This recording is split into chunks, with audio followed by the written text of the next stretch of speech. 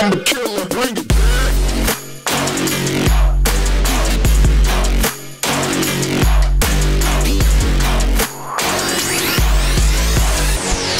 Hello, fuckers. Happy 2023. We did it. We made it. Yay. Congrats. Congrats on getting this far in life. Woo!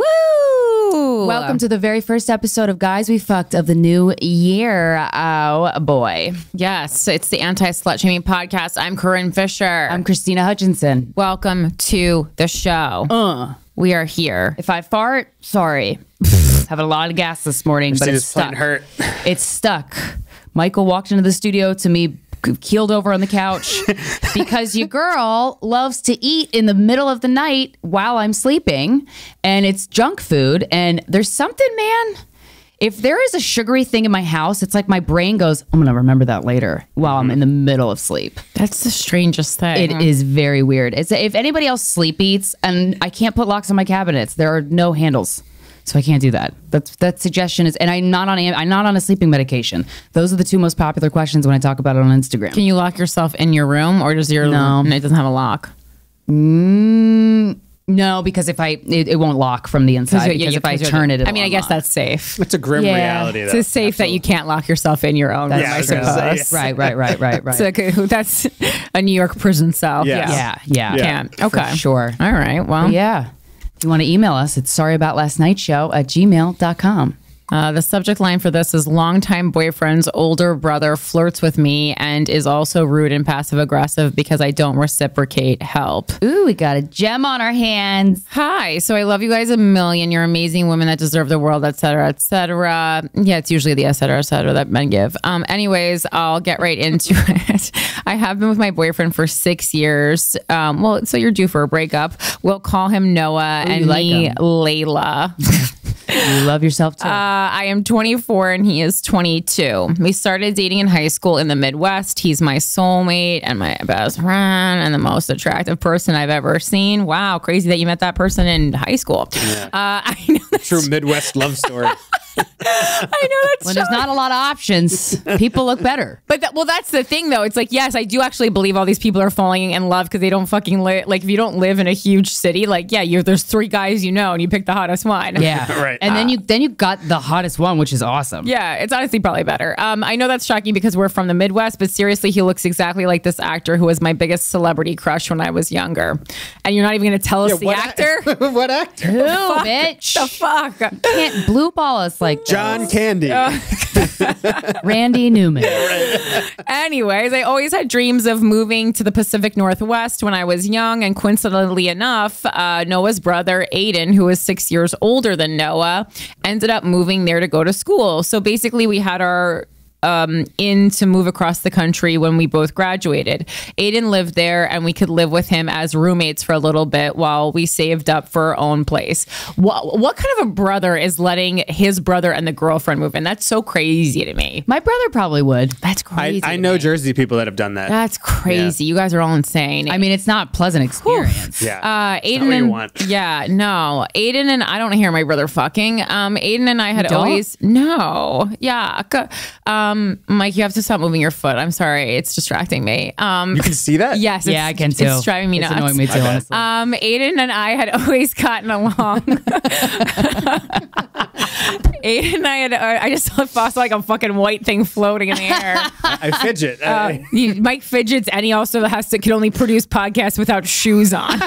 it's, I think get comfortable. fi- it's fine. It's, your feet don't really smell. making it in his home, huh? Yeah, your feet don't smell. Um, Aiden and I had always gotten along with Noah uh, when Noah and I first started dating. He still lived at home with Noah and their mom. So whenever I would go to Noah's house to hang out, he'd usually be there and chill with us. He was always super nice, but I can remember the first thing he ever said that kind of made me feel weird. I don't know. Maybe I'm overreacting. Ugh, but no, Aiden. Noah, and I were all hanging out, and he oh, and he said, "You know why you're lucky, Noah? Because Layla doesn't wear face makeup and she has nice skin." Right, that's rude. That's yeah, that's not creepy. That's just fucking rude. Um, just felt like a kind of weird thing to say. Ha ha ha. But I just took it as a compliment and moved on. Okay, so Aiden moves out and he has been living in the Pacific Northwest for like dumb. a year. Noah and I save up our money and fly across the country and we move into an apartment with Aiden. We all pay equal halves of rent on a really nice place. Things are great, except Oh. Aiden really cranked up the flirting. I was always nice to Aiden and I felt like we had a good friendship back then. And I know men can sometimes mistake niceness for wanting to fuck. Yeah, but when you're his brother's girlfriend, Yeah. there's a boundary that's very clear. Yeah. Very clear. Not a lot to be mistaken. Oh, oh, she was nice to me. Sorry. This is Her yeah. pussy was out. Doesn't matter. If But- your pussy was out. Yes. I mean, oh, put your pussy away, but But I honestly never felt like I put out flirty vibes at all. I should probably disclose I do OnlyFans stuff and his. Br- okay, this is. oh, he jerks off to your Yeah, OnlyFans. yeah, yeah, this is- this That's explains a lot. That's where it is. it's like when it's like when a female comedian talks about sex on stage, or like because we're the guys we fuck podcast, people think they can just like say crazy shit to us. Yeah. Um, I should probably disclose I do OnlyFans stuff, and his brother knows about this because I'm pretty open about it. So perhaps he thought because I do OnlyFans, I'm just a big hoe bag who would flirt with her brother's boyfriend and be down with it. no, I just think he jerks LOL. off to you because he's a subscriber I also think men and he just um, acts weird. I think men and also just like some people in general, like don't understand that like just like with every career, like that you don't take your work home with you. So you know, Right. like I mean, I just texted our friend D, who's a nurse, a picture of my uh, full body rash the other day, Nice. and I said, I I said, D, I am so sorry to be this person, but I said I have exhausted all my options and I need help. Um, one time when I uh, was w- okay, wait, so, so this one, uh, some instances that made me feel a little weird. One time he said to Noah, "Uh, isn't Layla just amazing?" After I said something funny. Okay, I mean, that's fine. And also, he's like saying all this, like, where the fuck? What's, tell your boyfriend to man up. oh, but he's saying this in front of your boyfriend, so I'm Right. not, he's not like One time when it was just him and I at home, Noah was at work. It was the morning time and I was taking a shower. He mm, he knocked on the door and asked me a really stupid question that definitely could have waited until after my yes, it shower. could've. That was a flirty move. That's that was a flirty ideal. move. fucking Yeah. That was a flirty move. And I couldn't hear him over the shower, so I kept having to ask him to repeat himself. Oh, what? You, What? I am sorry. I've never taken a shower with anyone who wasn't like my boyfriend in the house and not locked the door. I don't care if it's a roommate. I don't trust people. You guys don't. Watch Oh, yeah. You guys don't watch enough horror movies. You got to lock the door when you're showering. Um, it felt like he wanted to me to be like, I can't hear you. Heh heh. Why don't you come in, Mister? Yeah, no, you got it. One time he came in my room while Noah was at work. A lot of coming in my room while I'm home and Noah's at work. LOL. I think he probably literally comes in your room too when you're not there. Yeah, he's wearing your panties. Um, And then during the convo, randomly asked me if I thought that him and Noah are similar. You know, just the guy I love and fuck. I just, I said, not really, lol. A lot of LOLs, but you're 22. Um, he also would always come into my room like legit 45 minutes before my g- boyfriend gets home from work and ask if I wanted to smoke weed with him. That's normal roommate stuff. That's not. Yeah, like Noah is almost home. Why don't you just wait till all of us can smoke together if you want to? I get the timing though. Another instance, one time when we were at a car dealership and Noah is getting a new car. Well, why also why is the brother always with you? Are you guys in a throuple? Yeah. This is weird. While Noah is test driving the, the car with the dealer guy, I'm in the car with Aiden waiting for Noah to come back. He's taking a while, so I say to Aiden, What if they ran away together? And laughed, and then he laughed and said, Ha ha, yeah, what if we ran away He together? definitely jerks off to your OnlyFans. he one men can't be cool, dude. In these situations, he jerks off to your OnlyFans. That's so weird. Uh, like that's not what I said. Maybe he mistakenly thought I said that. Stop being No, so he- stop being stop, a bitch. stop, Um. stop. Anyways, it was fucking weird. A lot of more little stuff, just complimenting my outfits and appearance a lot, which is fine. But considering all the other stuff, it just made me a little uncomfy.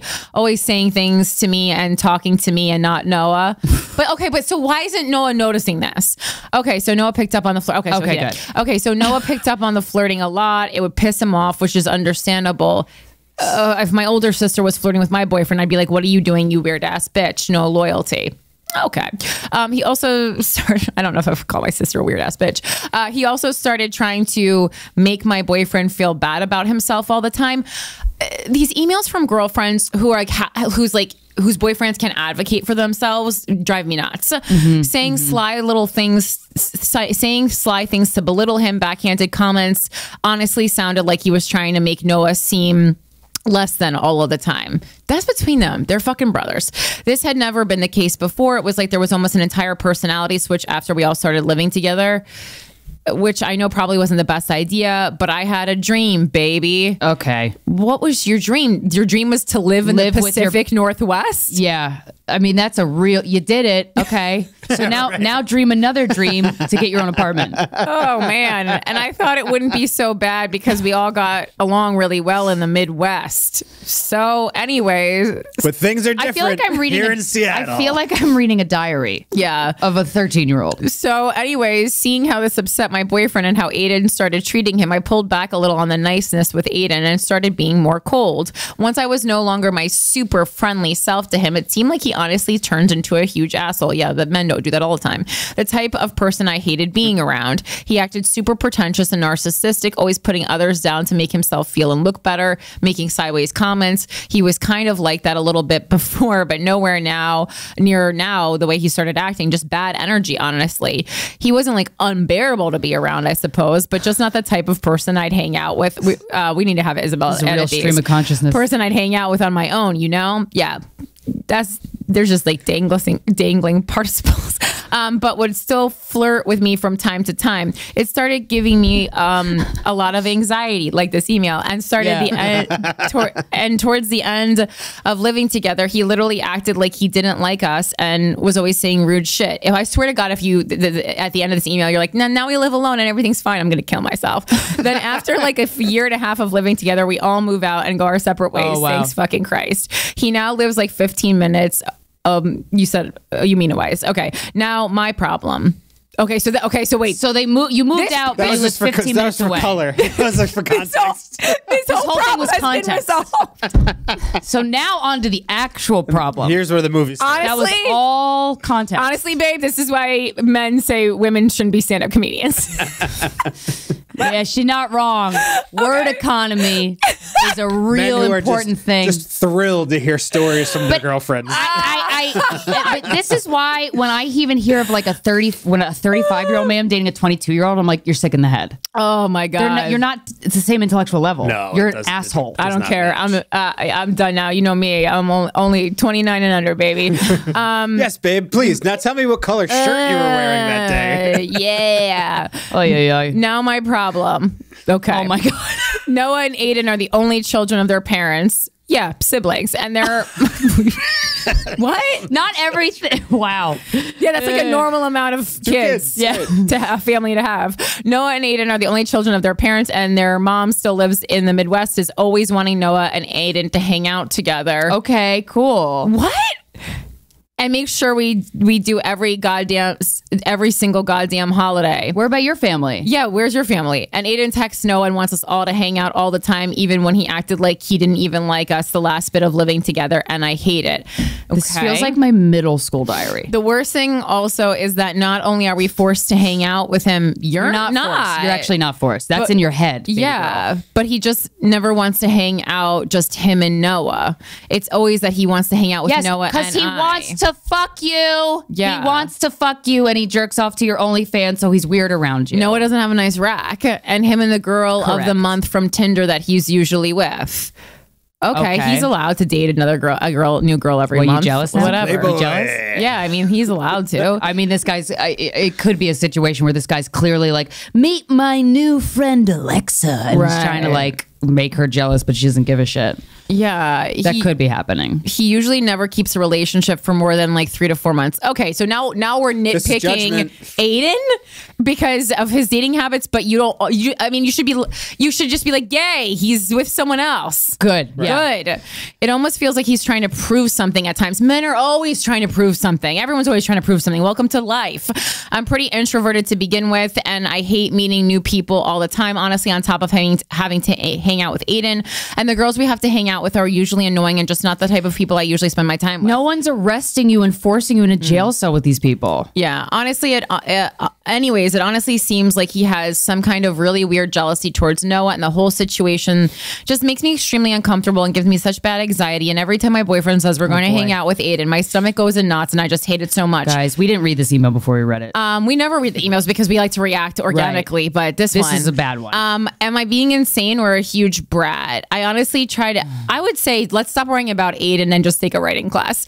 Um, I honestly try to cancel as much as I can when it's not a holiday, which I feel bad about. I don't want to keep my boyfriend from his brother.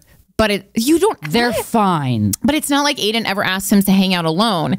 Aiden and Noah also work together, and there's been so okay, but that doesn't make sense because you always said that Aiden, uh, uh, Aiden was trying to hang out with you when Noah was on his way home from work. So just no, Aiden just comes home from the office early, or they just like have a job where I'm like, what what's Different happening? here? positions at the same company. What's going bit on? convoluted. Yeah, Aiden and Noah also work together, and You there's high. been so many times that Noah has come home I and hope seemed so. upset, and come to find out Aiden is making Noah feel like shit about himself and just making weird comments. that That's make Noah his feel job bad. to stand up to his goddamn motherfucking brother. Why is your whole life about your a- boyfriend? he's a oh, because you're 22. Okay, um, because you're 22 and a straight woman in, in the in the world. I got it. This is honestly not your fault. A lot of this is society's fault. I'm not. I'm not But- blaming you. But like, There's you- areas you can fix. if you listen to this show, you like the, to me, the benefit of listening to older women talk is that you don't have to fucking waste the time and make the mistakes that we made. That's the point. Mm-hmm. So if you're not making those corrections ahead of time, why are we talking for 90 minutes every week? Right.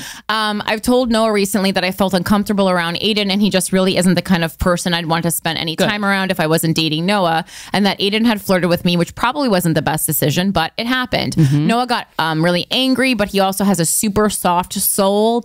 Does he? He's 24. Um, he said, I think his soul is like Cheetos and a bong. Yeah. Um, he said he and felt. a, and a PlayStation. Met a 24 year old who like he has a soft, soul. Um, he said Was he he a nom? Oh my God. He said he felt bad for his brother and wanted to love him because he's his brother and how he just couldn't think about him flirting with me for the sake of the family. What do I do? I don't want to upset my boyfriend's family and make them think I'm isolating my boyfriend or something, but I fucking hate hanging out with this dude. But Noah feels like my soulmate, and I could honestly see your soulmate would stick up for you, first of all. Uh, but Noah feels like my soulmate, and I could honestly see myself with him forever. And this just feels like such a big hindrance. I want to get along with his family and not feel anxious and just everything to be normal. Yeah, Uh, everyone wants that. any help or responses is obviously appreciated. And then she says, "Thanks, gals," with A lot of four A's. A's. Four A's, yes. Okay. Um, Okay. I mean, you're not ready to get married to anyone. sure. I could tell that just by the this email. Your emotional maturity, it, it needs, well, first of all, your brain isn't fully developed yet until you're 25. Yeah. Um, so don't get, Jesus Christ, for the love of God, please don't get engaged, don't get married before you're 25. Just don't. Just Yeah. Don't. Just don't. Wait, did you say you're 26 though and he's 20, no, 22, 24. 24? Okay. Got it. Got it. Got it. Got it. Yeah. Yeah, so I'm curious. Like, I mean, I was wondering what the boyfriend was think doing and thinking this whole time, and you kind of let us in on that. But he seems like a Pussy. ev- Yep. yeah, yeah. I, you know, I- the comedian in me and the host, the host of guys who fucked. the- Sometimes they're at odds, but yeah, big old pussy. And It's funny because when I when I know pussy is like about vaginas, but I think of a little cat. Like I don't I don't Yeah. think of it as derogatory Like- towards women. That's no, what it I think of it as like That's the I origin. don't know. The origin is a do. cat? Cat, yeah. Oh, Origin really? yeah, it's not a vagina; it's a pussy cat. Oh, so then all these like So feminine all these people that are mad on the internet yeah. are wrong. To Yeah. my to my 'Cause they're like- understanding, it's like the when you call somebody a pussy cat or a pussy willow, you're calling them. Well, like- I've never. Called, Mike, are you calling people a pussy willow? I- no, but um, that's you should like start. Wait, Watch a movie wait. from like the '60s or the that 70s Randy or Newman will call you a pussy. Um, origin. Yeah, I, when I think of the word pussy, yeah, I, I I've also seen the videos online of women being like, "We need to stop saying this because vaginas are strong." And it's Right. like, yeah, vaginas are strong, but what if that wasn't the origin of the word? Yeah, I That's don't think- I hilarious. think Isn't the that so origin- funny? We get so mad about shit and then we're wrong Because I don't think pussy was like a slang for for vagina until like until the I said it. Okay, like so it's a German origin. It's Yeah. it's and it's a shortened form of the Latin word pusillanimous. Yep. Um. All right. Wait. Pusillanimous. Okay, and then there's a whole article from Glamour. Where does the word pussy come from, and should feminists really use it? But okay, so apparently the it's hotly debated. Wait, Ooh. I don't know where the, which the fucking one is. But like pussycat and pussy well, I do know those were things that people used to call other people. Yeah. So it would make sense if because when I think pussy, I just think like coward. Yeah. Yeah, I think when you call somebody a pussycat, I don't think of a vagina at back all. in the that, like like uh, the Odd Couple or whatever in the '60s. I Yeah, know there's yeah, a yeah. time like the, there's uh, that's in the script where uh, Oscar calls Felix a uh, uh, like a, a pussycat. It's supposed Yeah. to mean like a soft. softy. Yeah. So like yeah. this the slang the, the the origin word puss pusillanimous means cowardly. Yeah. Yeah. Okay. That's Um, but it is debate. It's debated like where we got pussy from. But I say that we can use it. I, think that we can so. use yeah, it. yeah, yeah. Okay. order rules. But yes, back to- Anyway, this your guy boyfriend's sounds a like big pussy. Yeah. Girl, your boyfriend a big old pussy. Yeah. Um, and you're very young, and um, the way that you write this email is immature, like emotionally immature, in a way that is, you know, for your age, it's fine. I and I, I'm saying that knowing that if someone fucking said that to me when I was 22, 23, I'd be like, mm, go fuck yourself. Because that's an immature response. Uh huh. All checks out.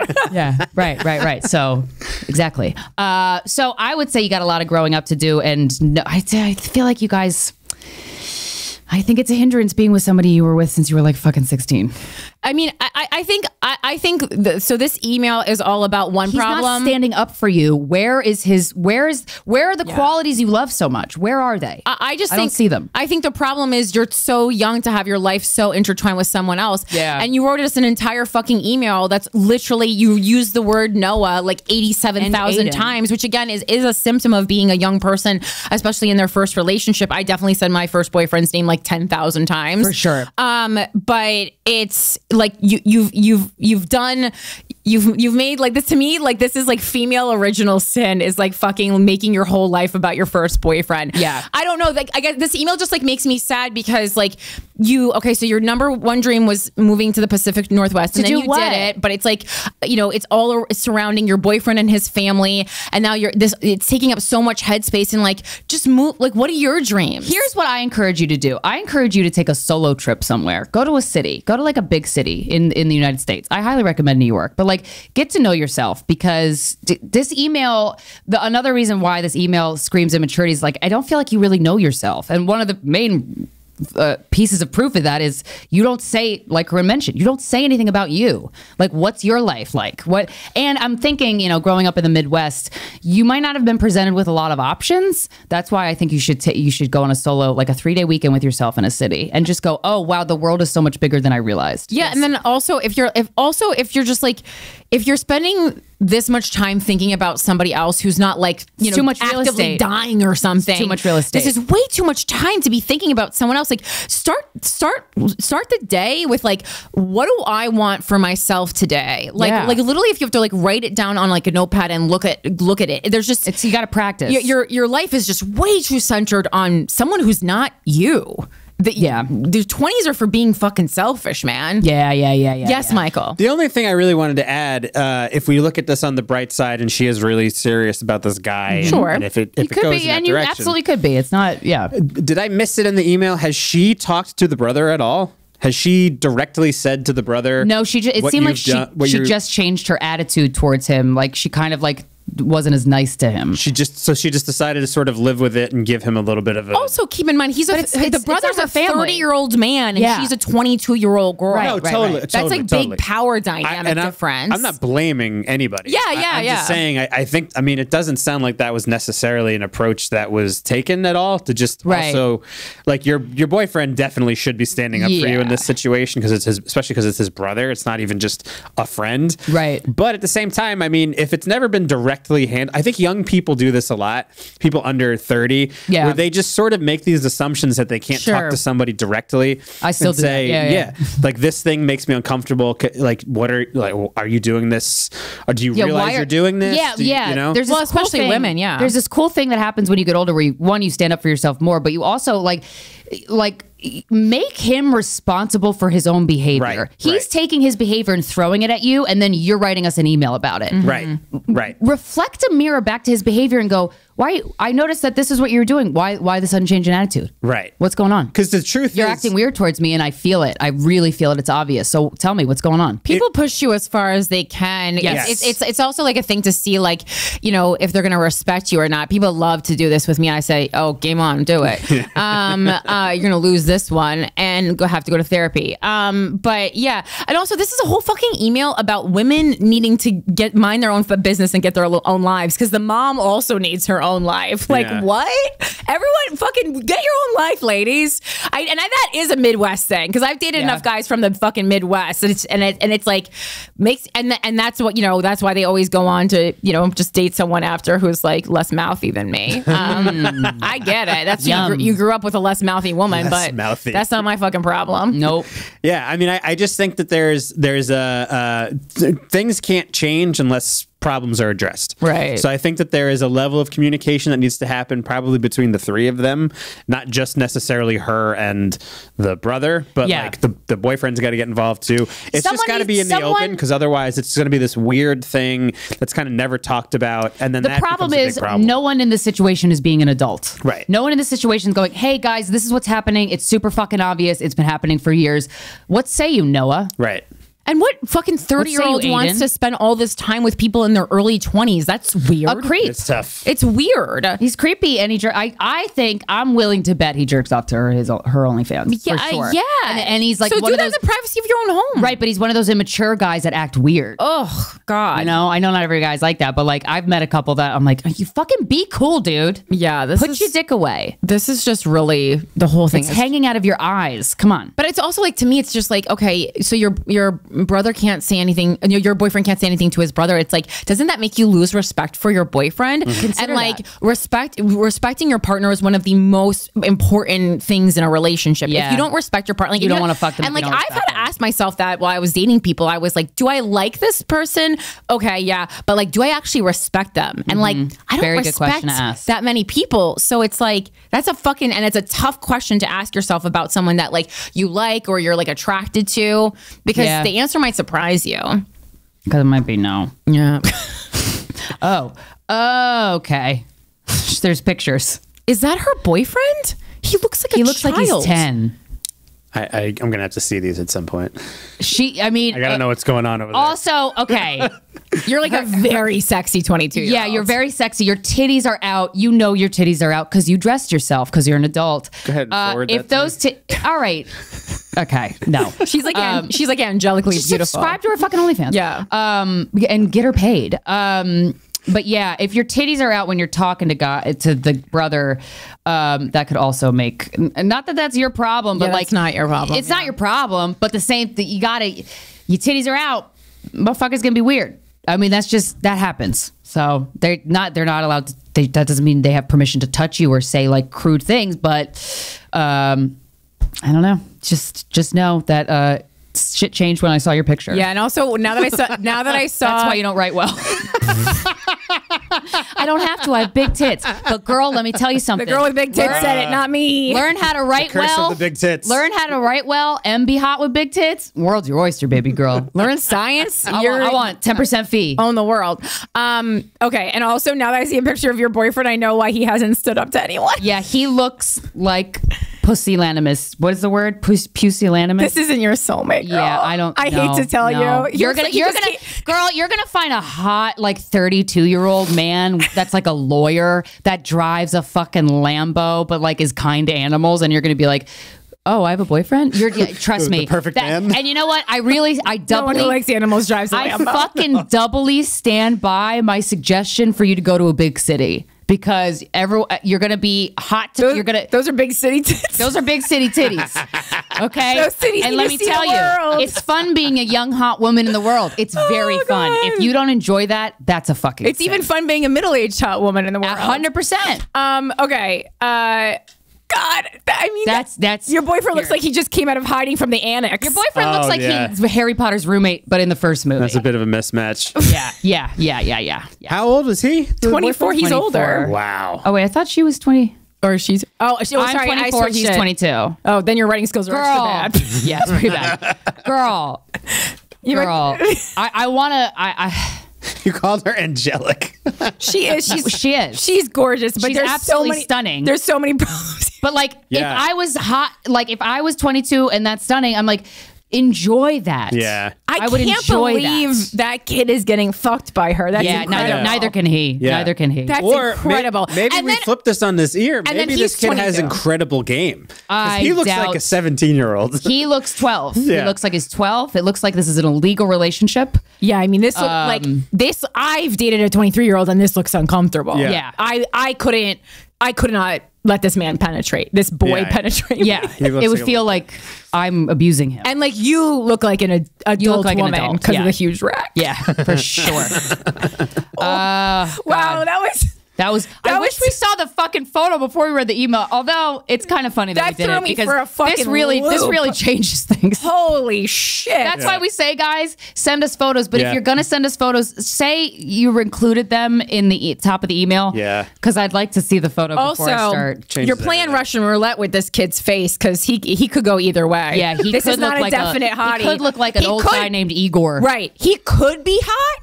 He could be smoking hot, but he smoking could hot. be- He could be Adrien Brody, but he could be not Adrien Brody. He's got to get in the weight room too. He could be uh, John Candy. Yeah, and so no wonder. So so he's so so oh, so that means six years old. he older. could be Rasputin.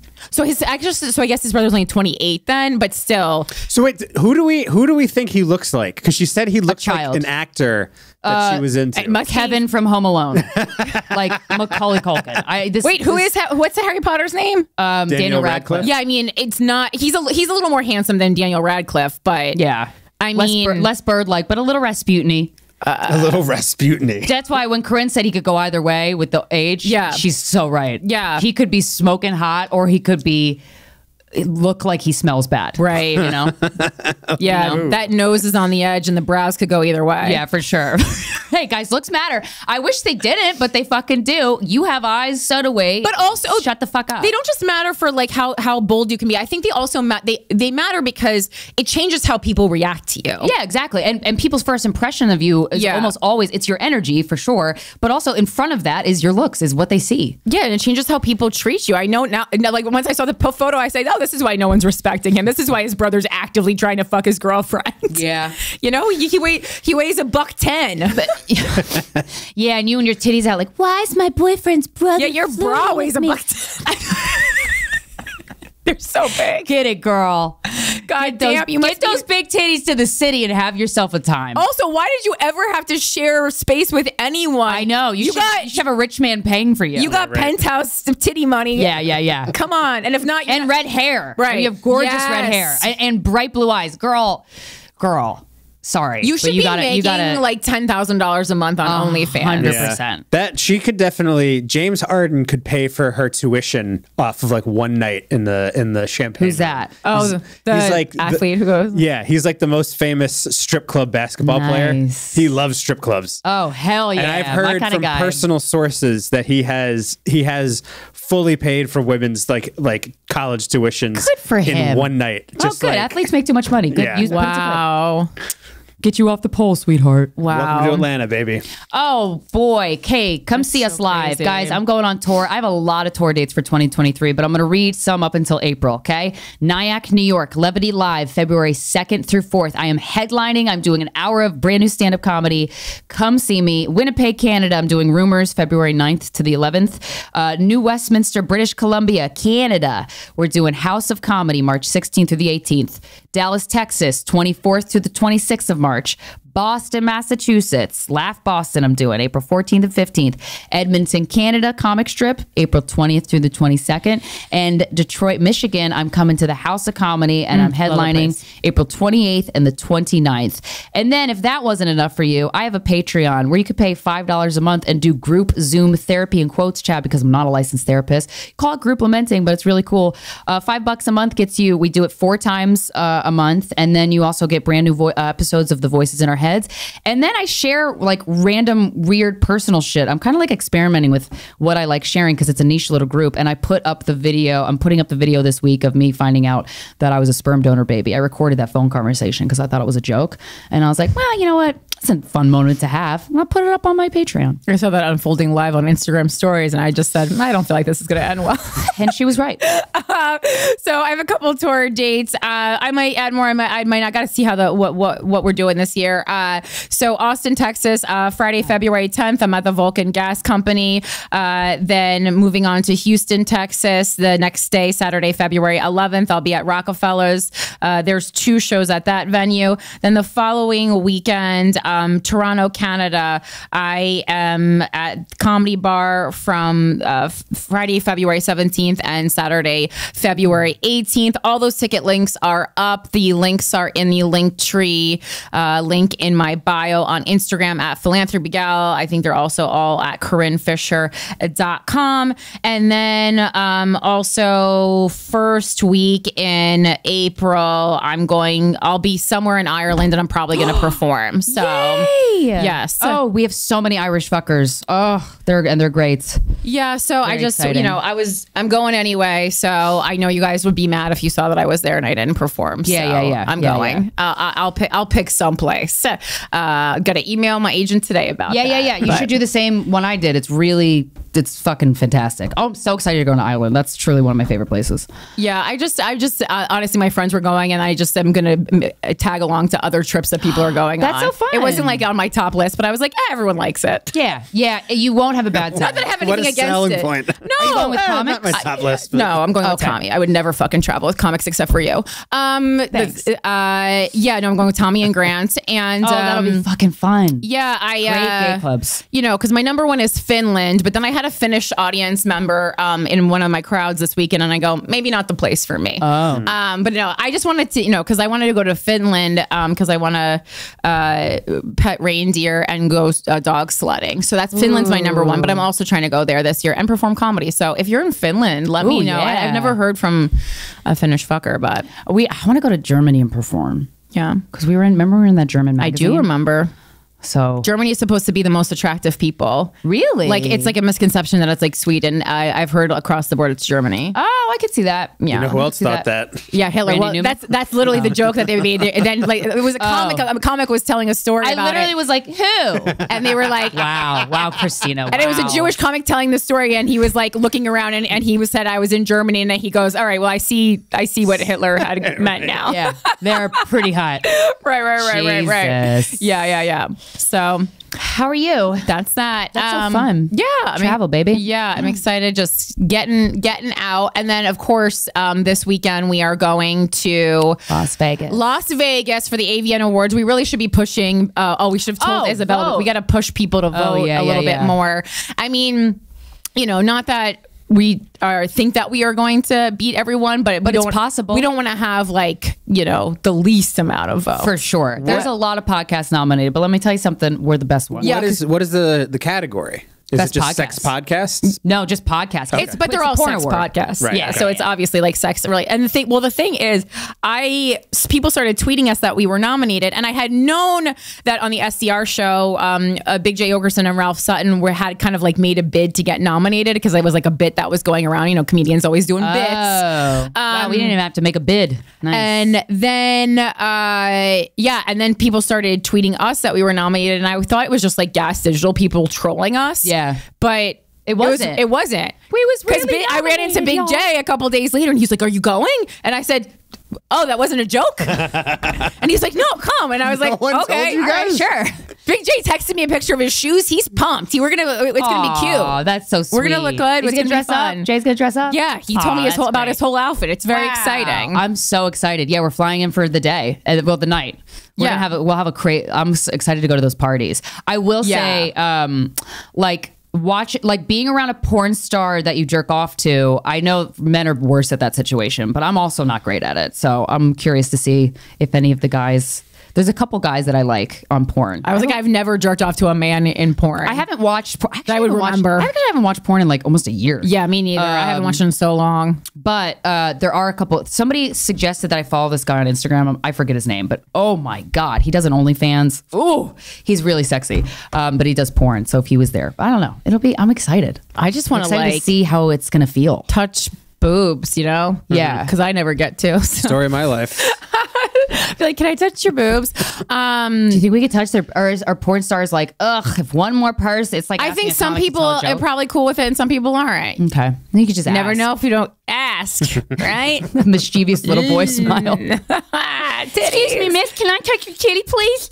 Thank you. Really send my day up. Yeah, no. Okay, so wait, wait, when's the last time we recorded? It's been Two weeks. We uh, skipped weeks. last week. Yeah, Yeah. right. So that It's been two was weeks, so it was So Christmas and the New Year's has 19th. since. So 19th. Okay, yeah. So um obviously, you know, I had my existential crisis. Hell you know, yeah. I did have to go back and watch that because anytime I have a, you know some kind of a breakdown on the show, I got to watch it and then I go, "No, that was um, eloquent and beautiful as always, Corinne." Um we did get a lot of feedback from it, so I got a lot of people are also apparently having existential crises and like didn't know that they were going through that. You know, a lot of like you know, middle-aged men, but that's fine. Whoever Hey, whoever I vibe with. Constant with. battle. I, I mean, I kind of am, uh, you know, I am. Um, Yeah. so uh, things actually uh, got uh, even worse Nice. since um, I left, and I mean, it, it was just it, it like it like hit truly like emotional rock bottom. There was Whoa. like another like two straight days of crying like post Christmas, and then. Uh, on the 29th, the the light lifted. clouds parted? And I pulled myself out of bed and I said, Corinne, you got to do what you do every year this weekend, which is go see David Attell at Caroline's, especially because Caroline's, this is, was, they're closing. Um, iconic comedy club in Times Square in New York City, if you're not familiar. And, uh, and so I texted Ian Fidance because he, you know, always uh, performs with Dave. And I was like, hey, I'm going to come. I was like, just, you know, I'm like, you know, because me and Ian are very, you know, Ian's dad is also dead. And so we, we've been, very, you know, we're very close and, um, and He's talk a a lot. silly goof too. Yeah. And uh, so I just gave him the heads up. I was like, I'm not going to ruin anyone's time, but I'm having a fucking full meltdown. And, but you know, I, Good place to go around Ian and Dave. Those are good hangs. yeah. And I was like, and I'm, I never, you know, I, I, you know, I don't bring my bad mood places. I just push it deep inside and then, um, Yeah. handle it at home. And then I show, and then he, uh, he showed up and then Dave's like, do you want to like he's like please like do a set on the show Yes. and i was like fuck yeah Uh, but also so nervous because Yeah. like for all the time i've known dave like he's very generous with stage time um but i get i just get very nervous in front of like there's like very few people I care about, and Dave is one of them. Um, and like he knows, like I have kind of like a very on record Crush. crush on David Attell. Like he knows, but I think you know it's like when you're so open about a crush that I think the person thinks you're joking.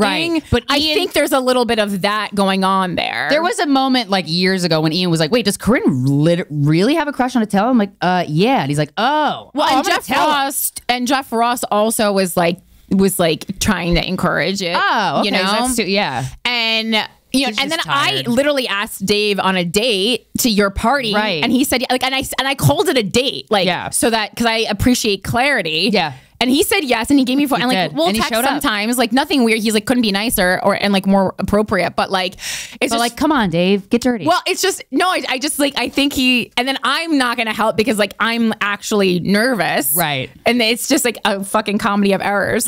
Um, but anyway, yeah. So and then he, and then right was like when I was going on stage, like the crowd was a little weird, and I was like going up second, and I'm just like, oh my god, it's like sold out. Caroline's like.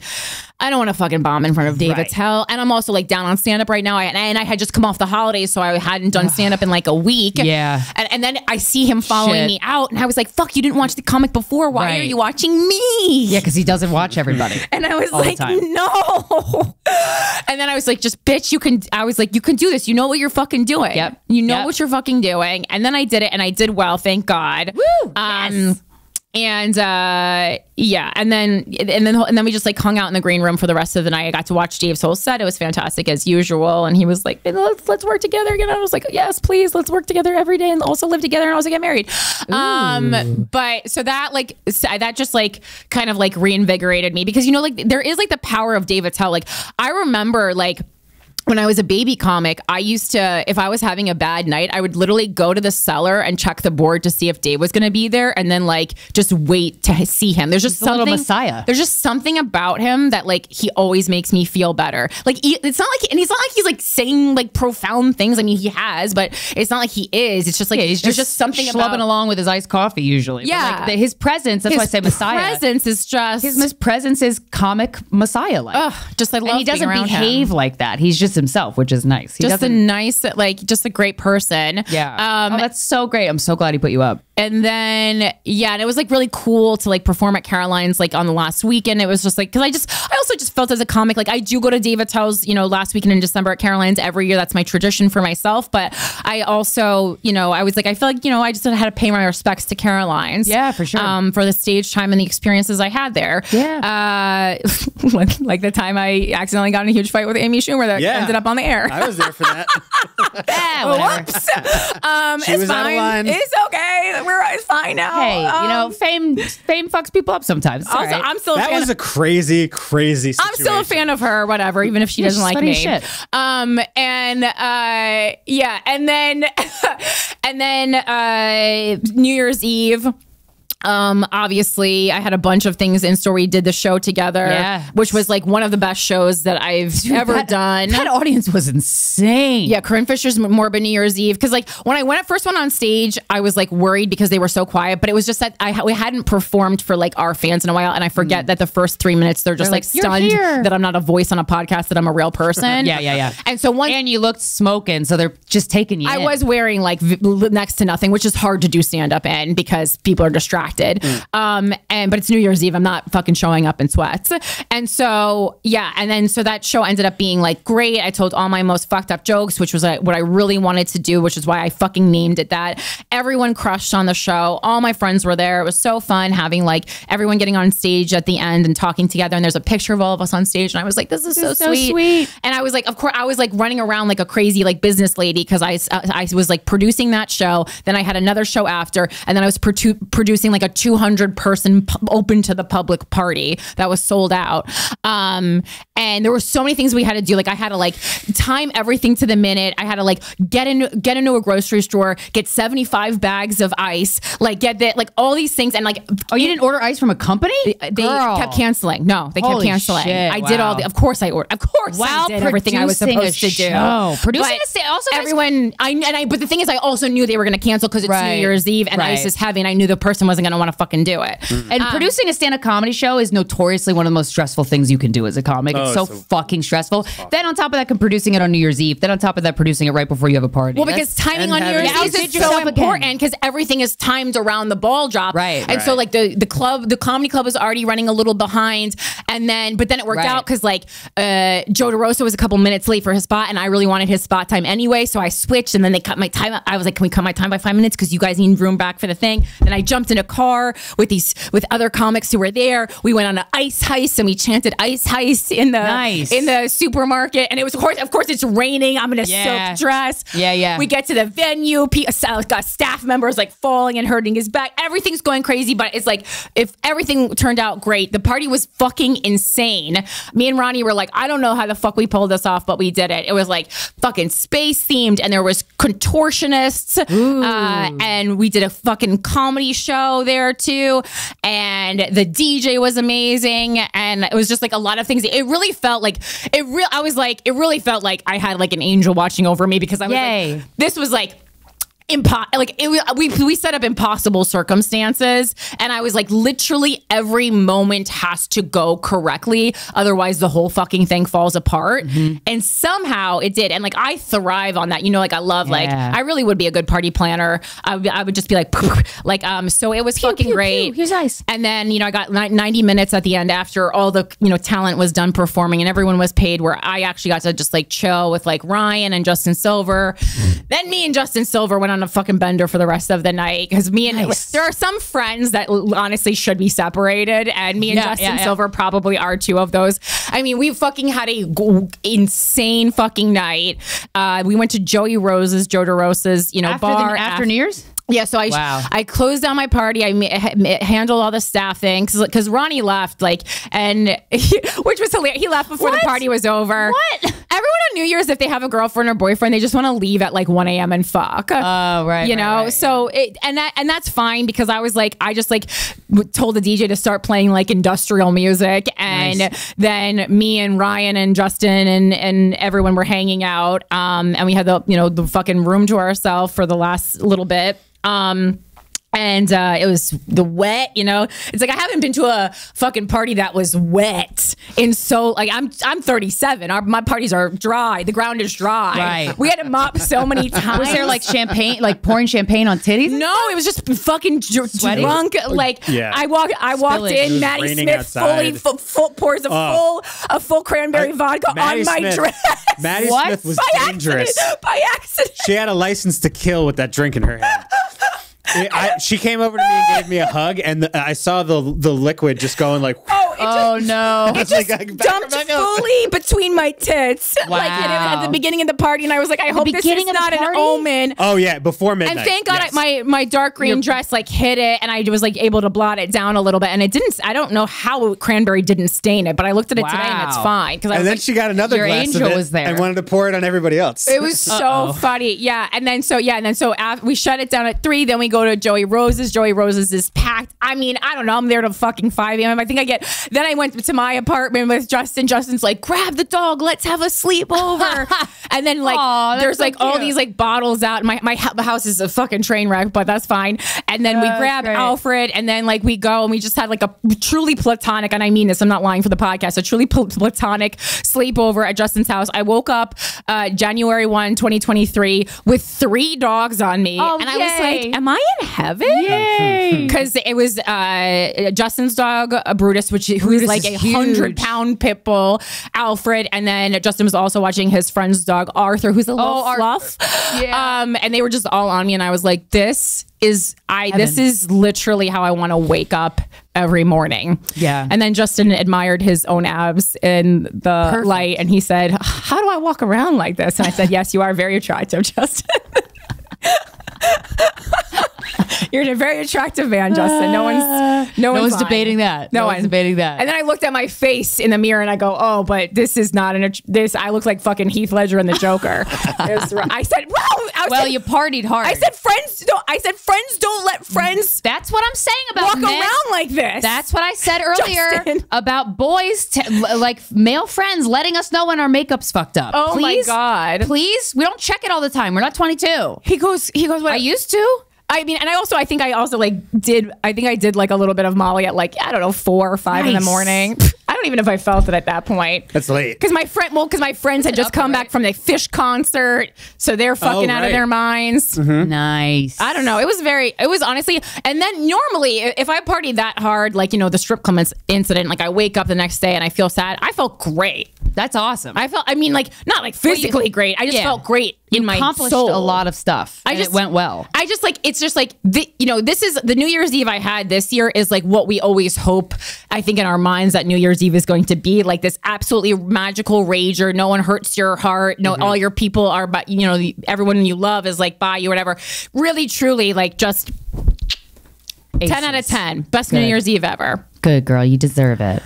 How was your New Year's Eve? Uh, it was good, very family oriented. My my Yes. Christmas and New Year's. I was with my boyfriend's family for Christmas. That was really nice. His family's awesome. I've Oh, that's good. I've heard when people say like, um, "Oh, I, I want to break up with him, but his family." I'm like, "What the? F-? I've never understood that." Like, what- Right. I mean, I love my boyfriend. I'm not trying to break up with him, but like, his family's that good. I'm like, Right. shit. Oh, that's I was. I was crushing it. I crushed meeting the family. yeah, you're a Um, good, you're a good meat in the family. but like they had a great sense of humor. They were really nice people. They're really smart, did really cool stuff, and like they were just cool. It was great. We spent six, five days, five days there. Wow. Loved it. I fucking loved you. it. Um, yeah, I made sure to like I needed to be like go to the bedroom and be the only person. Yeah, it was like room. you were saying, like in their like, do they have a big mm-hmm. house that it was like you had eh, room? Yeah, yeah, it was like a townhouse, but it was it was fine. Honestly, it was great. It was really nice. It was really nice to be around a family where I felt like I could be myself. It made me really like fully grasp in a deeper way. Like I just can't be myself around my parents. That's mm. why I fucking don't like them. That's why I don't like them. That's why I don't respect them. That's why I don't want to hang out with them. But like I noticed myself not wanting to hang out with them before I stopped talking to them, and I'm like, why is that? Am I just a bad mm. daughter? It's because I can't be myself around them. Hmm. It felt so good. This Chri- Christmas felt so good. It oh, it was great. And then New Year's was awesome. I had my seven year old nephew. My brother came up with his girlfriend.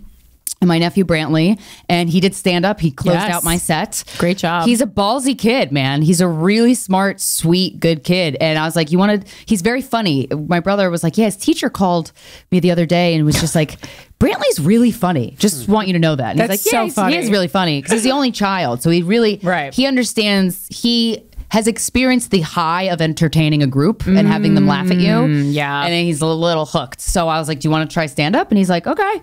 And my brother was like, I don't think he's gonna do it. I'm like, nah, I think he's gonna do He it. He didn't seem nervous at all. He was fine. He was, He was like, like- ready to go. yeah, he was like, That wasn't that hard. I'm like, all right. I like gave him a call time. I was like two minutes, Brantley, and he was like, all right. Yeah, he's super. Well, apparently he um, slipped on the stool he was sitting at at the bar and like fucked up his chin. Like, the Oh, second I didn't was- see that. And Oh. my brother was like, I thought he was gonna not come on. I thought he like broke his chin. And I was like, he acted fine. Yeah, Um, I didn't see that at all. but that was really fun. And then we went back to my apartment. and It was just the four of us, very low key. I went to bed at one. Well, I went to bed at one, and then I didn't get any sleep because my nephew kept farting. We slept in the living room, and uh, oh boy, you know, his farts were so bad that they kept you so awake. loud. And he was sleeping on an air mattress, so every time he moved, it was like. That's, he's seven. How much gas does he have? a lot of gas. Really? Why? Oh, but yeah. I Kids also kids fart. a Really? lot. Oh yeah. Kids I don't fart. remember that from I mean, my brother or me. and I And they love also it. think it's funny, which is why I it's love like- that. Yeah. it's hilarious, Yeah, I was like, so Michael. Oh, does. It's Yeah. hilarious. No, I know, of course, But, but I don't want to you know. hear in the middle. Like I'm Did trying they to go to bed. smell? Yeah, some of them. I, I uh, Aunt Nina uh, loaded her house up with with sweets, uh, which I never do. And then I've been fucking eating in the middle of the night. I gotta just throw out this food. I've been eating in the middle of the night, not realizing it until the next day, and my stomach is so fucked up from it. Yeah. Um, but yeah, I, I had a really good. It was very family oriented and not party oriented this year, which I really liked. I needed that. I needed like a little more grounding. So that was fun. Um, I was also um, one of the. I wanted to ask. I did this. I think we talked about this on the guys who fucked a lot that long ago, and I'll, I'll be quick because I know we got to wrap up. But uh, um, I th- or maybe I asked on my Instagram one day. But uh, I I have I have a. Uh, Spotify playlist on my Spotify account called Sex Club, and it's all the songs that I'm like, you hear the song and you get horny. Like that's how good the song, like songs to fuck to, but like songs to fuck to. And I'm gonna give you two examples. Um, obviously, we can't play them because Chattykins is gonna go no. Um, but this is one of the hottest songs I've ever heard, and every time I listen to it, I get horny. It's called Pour Vous, P O U R V O U S by Scorpio. Just take that, write it down, listen to it later when you're trying to fuck. And the other one, there's so there's two songs that are on my sex club playlist that I would say are my top two. Pour Vous is one of them, and the other one is called Woman by Emmit Fenn. M M E M M I T F E N N. So after the episode, go listen to these songs so you know which what kind of caliber of fuck I'm talking about. You know what I'm saying? And then email us sorry about last night show at gmail.com what is your favorite give me one what's one song to fuck to that you really love if you have that in your repertoire? And i want to listen to them all and i want to put a list together of like the top 10 songs and we're going to put it on our instagram which is at guys we fucked without the you and fucked which also happens to be the rest of our handles all across social media including tiktok. Yeah Yeah, give us a follow. It's the new year. Subscribe to our YouTube. A reminder: we we have the YouTube guys we fucked page, and then we also have a new page that is Clips, only baby. clips. It's GWF clips. If you go to the main uh, guys we fucked YouTube page, right under that you can see uh, the little thing to subscribe to. I made it so that it's very it's easy as possible for you to find. Yeah. and then of course please also subscribe to Without a Country on YouTube. Um, yeah, that's a great new show, and there's a lot lot happening in the news that you need to keep in mind. you know what else you need to keep in mind Today's guest. Yeah, that's exactly right. She is a producer, actor, comedian from India, born and raised in South Africa. She's produced and performed uh, in her Netflix special, Ladies Up, Netflix's Comedy Premium League, and Amazon Prime's improv specials. Ladies and gentlemen, please welcome to the show, Kaneez Surka. We are here with stand-up comedian Kaneez Surka. So excited to have you. We started? Yeah, we started. Oh, my bad. We're just like, no, it's fine. We're starting Uh, here. we like we like to start just like Wherever. you get the you get the bicycle going Right. and then you're off.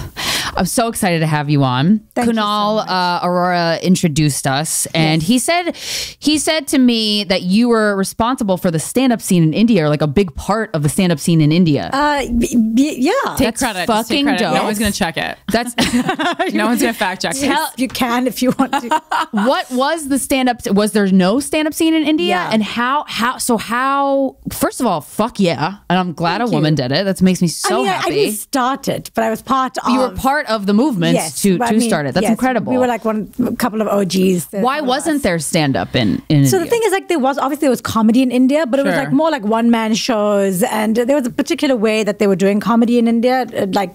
Yeah, it was many one man shows, but like the Western form of stand up, Right. That's in America, we find in America and the UK, etc. Like that wasn't in India. Like no one was doing that style in India. wow. Um, and then I think it was 2007 or 8, Veer Das. I don't know if you guys Yeah, I- yeah. he did a show at a theater, and I feel like that was one of the first stand up shows in India. where we Wow. were like, oh, that's the American style of stand up. Uh-huh. And so, like, that's what, 2007? That's like, So recent. That's exactly. very recent. and then that's kind of where it started. Like, and then 2008, Veda started doing some open mics.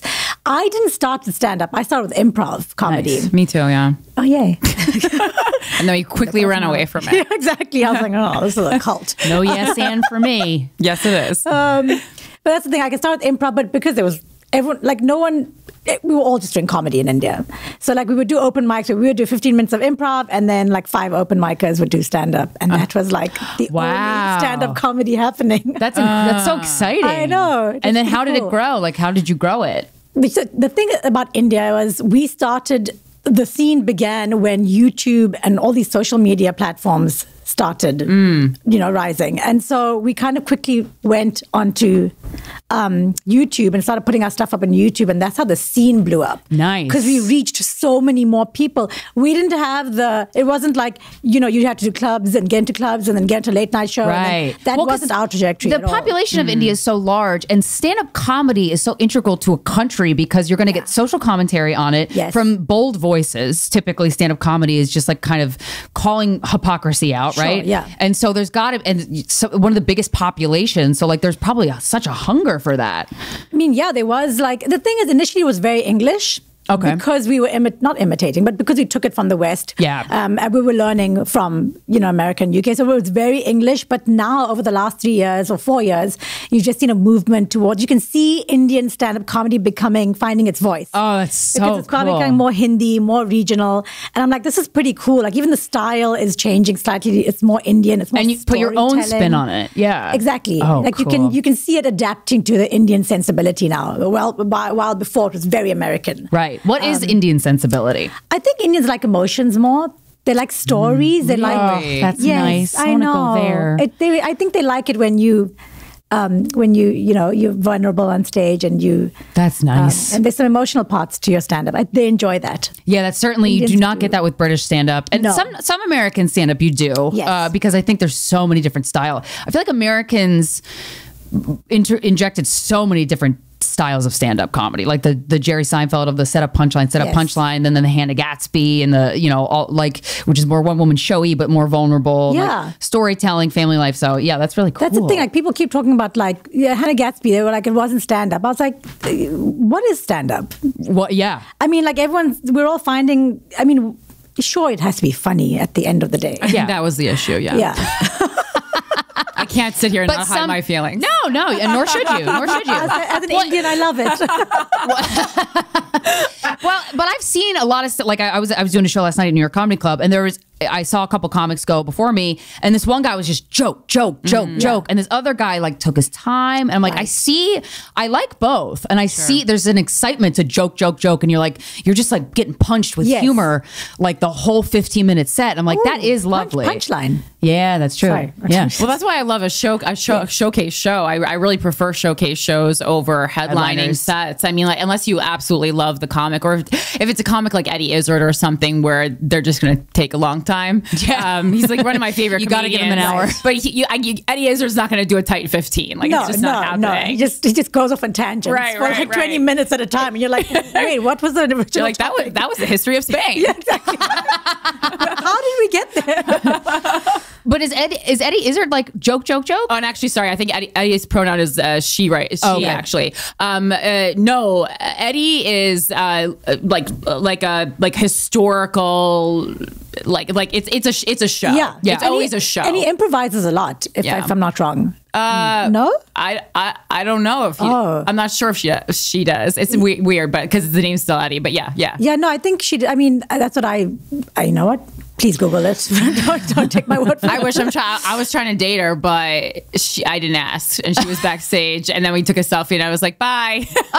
you were trying to date her. I, it was my dream to date Eddie Izzard like for date, not just have sex with. Uh, Like be in a relationship. Yeah, yeah, yeah, Oh, yeah. that's I wouldn't. I actually never just try to have sex with celebrities. I always That's me. wanna- That's me. I really go for the, the famous? the I'll long fuck you. haul. Fuck yeah. I'm a Yeah. star fucker. yeah, That's great. yeah. Yeah. Have you ever fucked a famous person? no.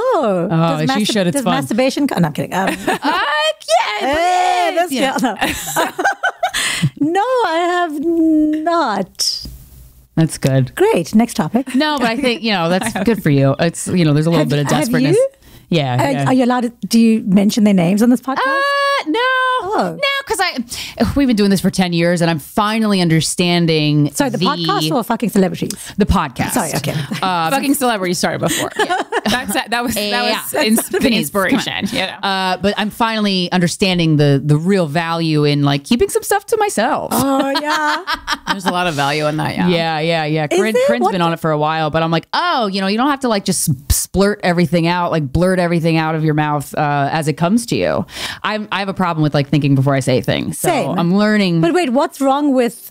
Well, because then people something u- to because then people have weapons to use against you. and also too, if I'm gonna fuck a future celebrity, I don't want him to think, Think that I'm that I'm him. going to narc on him. You know what I mean? You see, here's my thing. I'm Corinne. just trying to set myself up for success. But like the thing is, okay, that yes, for the future ones. But Yeah. Mm-hmm. like to what you ju- the point of what you just said, like I feel like saying everything actually de-weaponizes. you would think so.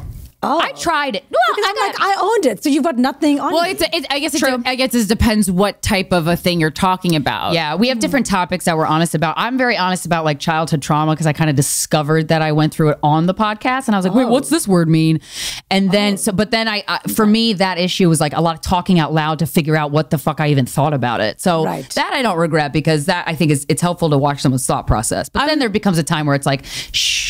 Yeah, I, th- I think I'm talking more about so like stuff like that. Yes, you get uh, put it on the table, that no one can use against you. Right. But something, you know, for instance, and I'm just spitballing here. um, if you uh, are talking about someone that you had a relationship and then you're still in love with, I wouldn't, I wouldn't like talk about that because then someone might be able to hit them up online. Um, Yeah, and that would be really fucked up. and huh? use it against you. That would be good thing I always find everything out. She finds everything out. like through research. I will everything. know. you know everything. I will find out anything, and it It's might wild. be it might be a year later, but you'll She'll get figure you'll get a phone call. Wow. She'll give me a full report on whoever I'm dating's ex if I wanted it. That's Like- amazing. Like, it's wild. It's, It's, wild. I, I I have that skill as well. You Right? do? Right, I can like find out anything. Really? Yeah, by going on Wow. the internet, I'll find like see who's liking it, go to their page, see when you started following them. Yeah. Wow. I'll figure it all out. Oh my god. Yeah, yeah, I'll figure it all out. I love That's research. amazing. Are you single? Are you dating? I uh, uh, currently single. Cur- nice, nice. What, wait, wait, why does it does like something happen recently? Yeah, something happened recently. Oh, yeah. Like you broke up or We broke up. Oh, okay. Ha- is when I say we, I meant he broke up with me. Oh,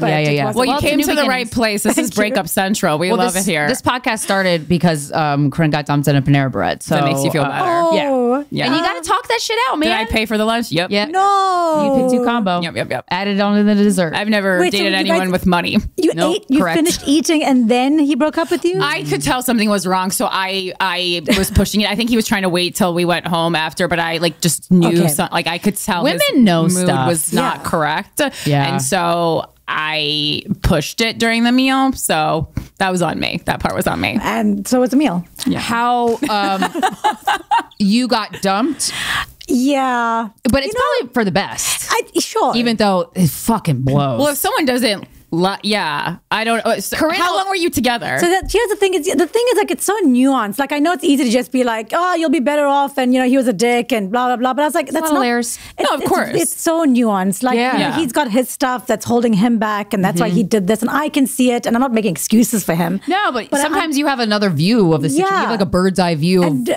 the situation. we were best friends for seven years. So oh, that's a long time. and he's a comic in New York. Damn. But we met in India, and then we would kind of like keep Oh, wow. meeting back and forth, but we were never in the same city. Yeah, That's a lot of history. yeah, traveling exactly. and living in different places together. That's Exactly. that's a lot. As in, like we were buddies. He was in India, and I came here, and, uh, like we would just like meet every time we visit each other's countries. Yeah, yeah. Oh, I'm But, uh, sorry. yeah. How how are you feeling like in this moment about it? Heartbreak like, is. it's a bitch. Do we? Did I?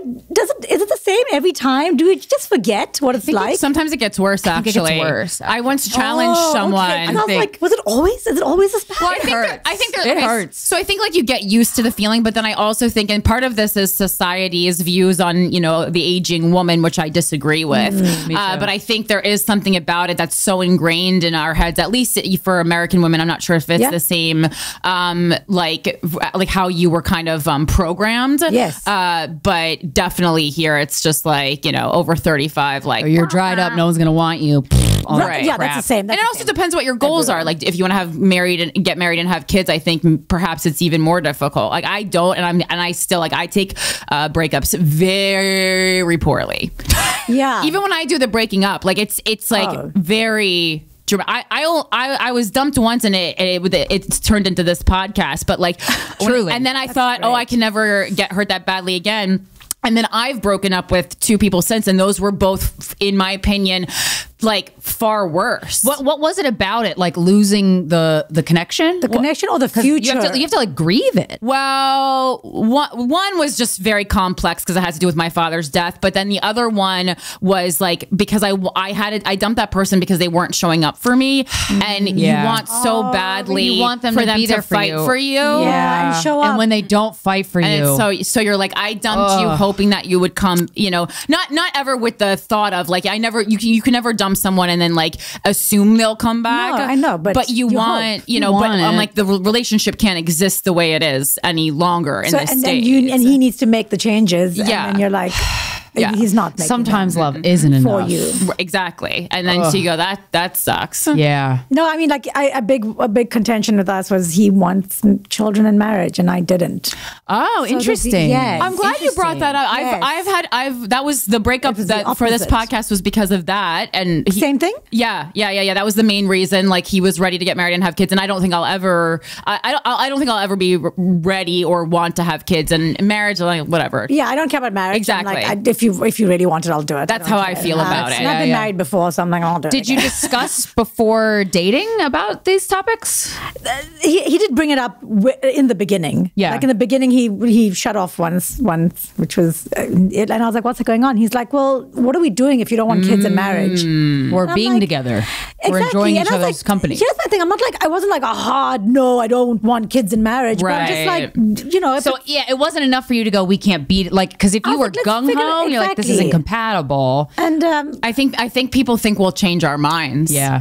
I, and, and and I might. Mm-hmm. Corinne, I might change my mind. I'm very open to like changes. Yeah. like I moved to New York from India. Like I moved. That's from, a huge change, from yeah. South Africa to India. I'm like I'm just saying like I'm very open to like Yeah. changing it up. And my dad always says like if you're not changing your values, you're not evolving as a person. Sure. Wow. And I you have a believe great that. dad. He Yeah. nurtured your spirit. Yes, he That's did. awesome. He did. That's nice. And I was like, yeah. So my value. I mean, I might change. You know, if I find if I feel comfortable with someone, I might maybe want to bring up a child with them. Yeah. Right. Right. Right. But you never saw that. You never saw that with this. I didn't. I mean, I was getting there. Mm-hmm. How long did you guys date? Like five, date date? Five months. Oh, okay, so you were ba- you were really close for seven years in Yeah. the date. Oh, I thought you oh. dated for seven years. You no, were just no, friends sorry. for seven years. We were friends for because seven I, w- years. I, I was like, oh, I got to be on his side on this one. Seven years, you got to make a decision. No, no, no, no, no. we were buddies for seven years. Oh, oh Okay. Oh, oh, okay. Purely platonic. and Oh, then- okay, okay, okay. Oh, okay. Yes. So wait, did he did he cite this as the the reason? Because you're did. still not a hard no. yeah, it that's the thing. He did, but I know he has other stuff. Okay. Oh, because I was like five months. Five months avoidant. isn't enough time to decide if you want to raise a child with someone or get married to them. Exactly, exactly. Although we did because of our history, it was like It was a little more. a little bit more, and our age. We're both like I'm 39, he's 42. Like, Okay, so yeah. like all of those sort of. So I guess you do have to decide. It- soon. you know what's so interesting to me? annoying. I have a lot of guy friend, like straight guy friends that I see. I get to experience them as a friend, and I love them. Yes. and then I see how they are in relationships. Not all of them, but some of them, and they're just different. They're different. I'm like, God, I would never be on the. Re- I would never want to be on the receiving end Of that romantically with you. w- Romantically with you, but as a friend, I love you to death. So you really got to experience it, and you said. um uh, what was the word you just you had said um aloof or like anti like avoidant. avoidant so was did he display those I've avoidance been reading books. yeah, me too. It's exhausting.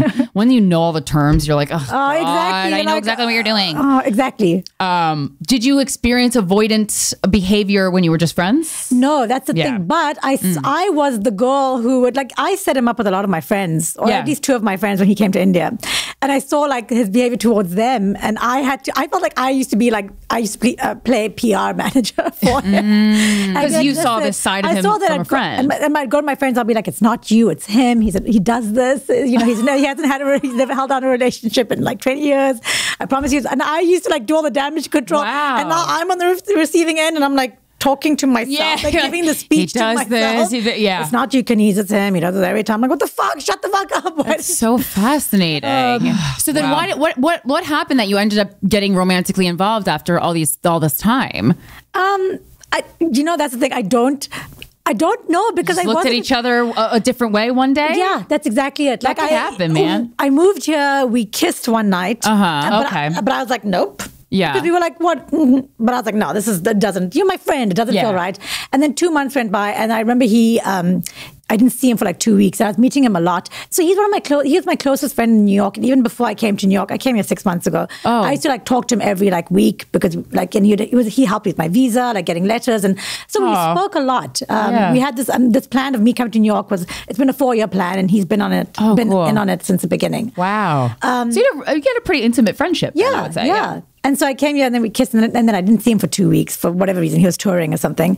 Yeah. And then I remember like meeting him. Thought about you for those two weeks. That Well, avoided I charm. met him. I just I didn't see him for two so weeks, much. and then I, I remember like meeting him at some hotel in the East Village or something, and I remember just like getting off the uh, subway station and just like so excited, Aw. almost like I wanted to run into his oh, arms. that's f- oh, Yeah. yeah. And Then I had two shows after that. At um, I had two shows, and I remember he was going to come watch. And then suddenly we were walking to my shows. I'm like, uh, you can't watch me. Yeah. got so you're developing nervous, feelings. yeah. And that's when I knew I was like, wait, the, the only pe- the only time I don't let people watch me is when I have feelings for them. And I was like, Yeah. what the fuck? Oh, yeah, yeah, And yeah. that's when I recognized, oh, I don't know where they came from. I have no idea where they came from. yeah. Well, they. But he obviously felt the same. Yeah, I think he, from the first kiss, he might have felt like a little bit more then. Uh huh. And then maybe. And then, um, yeah. Well, I, I'm I'm I want to I'm going to go on a diatribe about this and when we record the intro later. But um, there's this interesting concept. Um, do you, do you know the author Michael Singer? He wrote the Untethered Soul. No, sorry, um, he's just like he's like the the guy I'm into right now. I've I've I first read that book a couple years ago and it like changed my. It's like my bible of like how to exist as a person. Is but he one of the celebrities you want to fuck? no, Okay, sorry, just checking.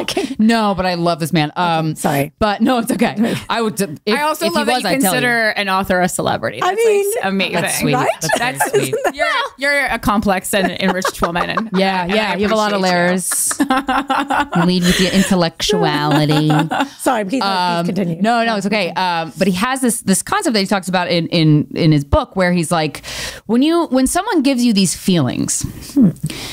They're originating in you. They're not giving you these feelings. Right. So, but it's like whatever they're they're just aligned. There's this perfect little jigsaw puzzle in front of you that that matches your stuff. He just calls it stuff, which I really appreciate because it could, could be childhood trauma. It could be a, a guy dumped you Okay. two years ago and it really fucked you up. conditioning, whatever. whatever it is, whatever your stuff is, you know when it gets hit because your heart closes. That's what he says. Like you feel your heart close when you're dating somebody and they do something to make your like they say something maybe that you find insulting or whatever. Your heart closes. You could fucking feel it. Oh. And but so I'm in, I'm interested in this concept. So these feelings arose in you over time because he's helping you with all these things and like being there for you in a real way. That's Yeah. like really that's intimate, right? And so I'm just like yeah, just that that concept of like that's why breakups hurt so much because we have this like idea in our head that they're taking that feeling away when the feeling's in you the whole time. And there's this there, basically Michael Singer argues that you can feel madly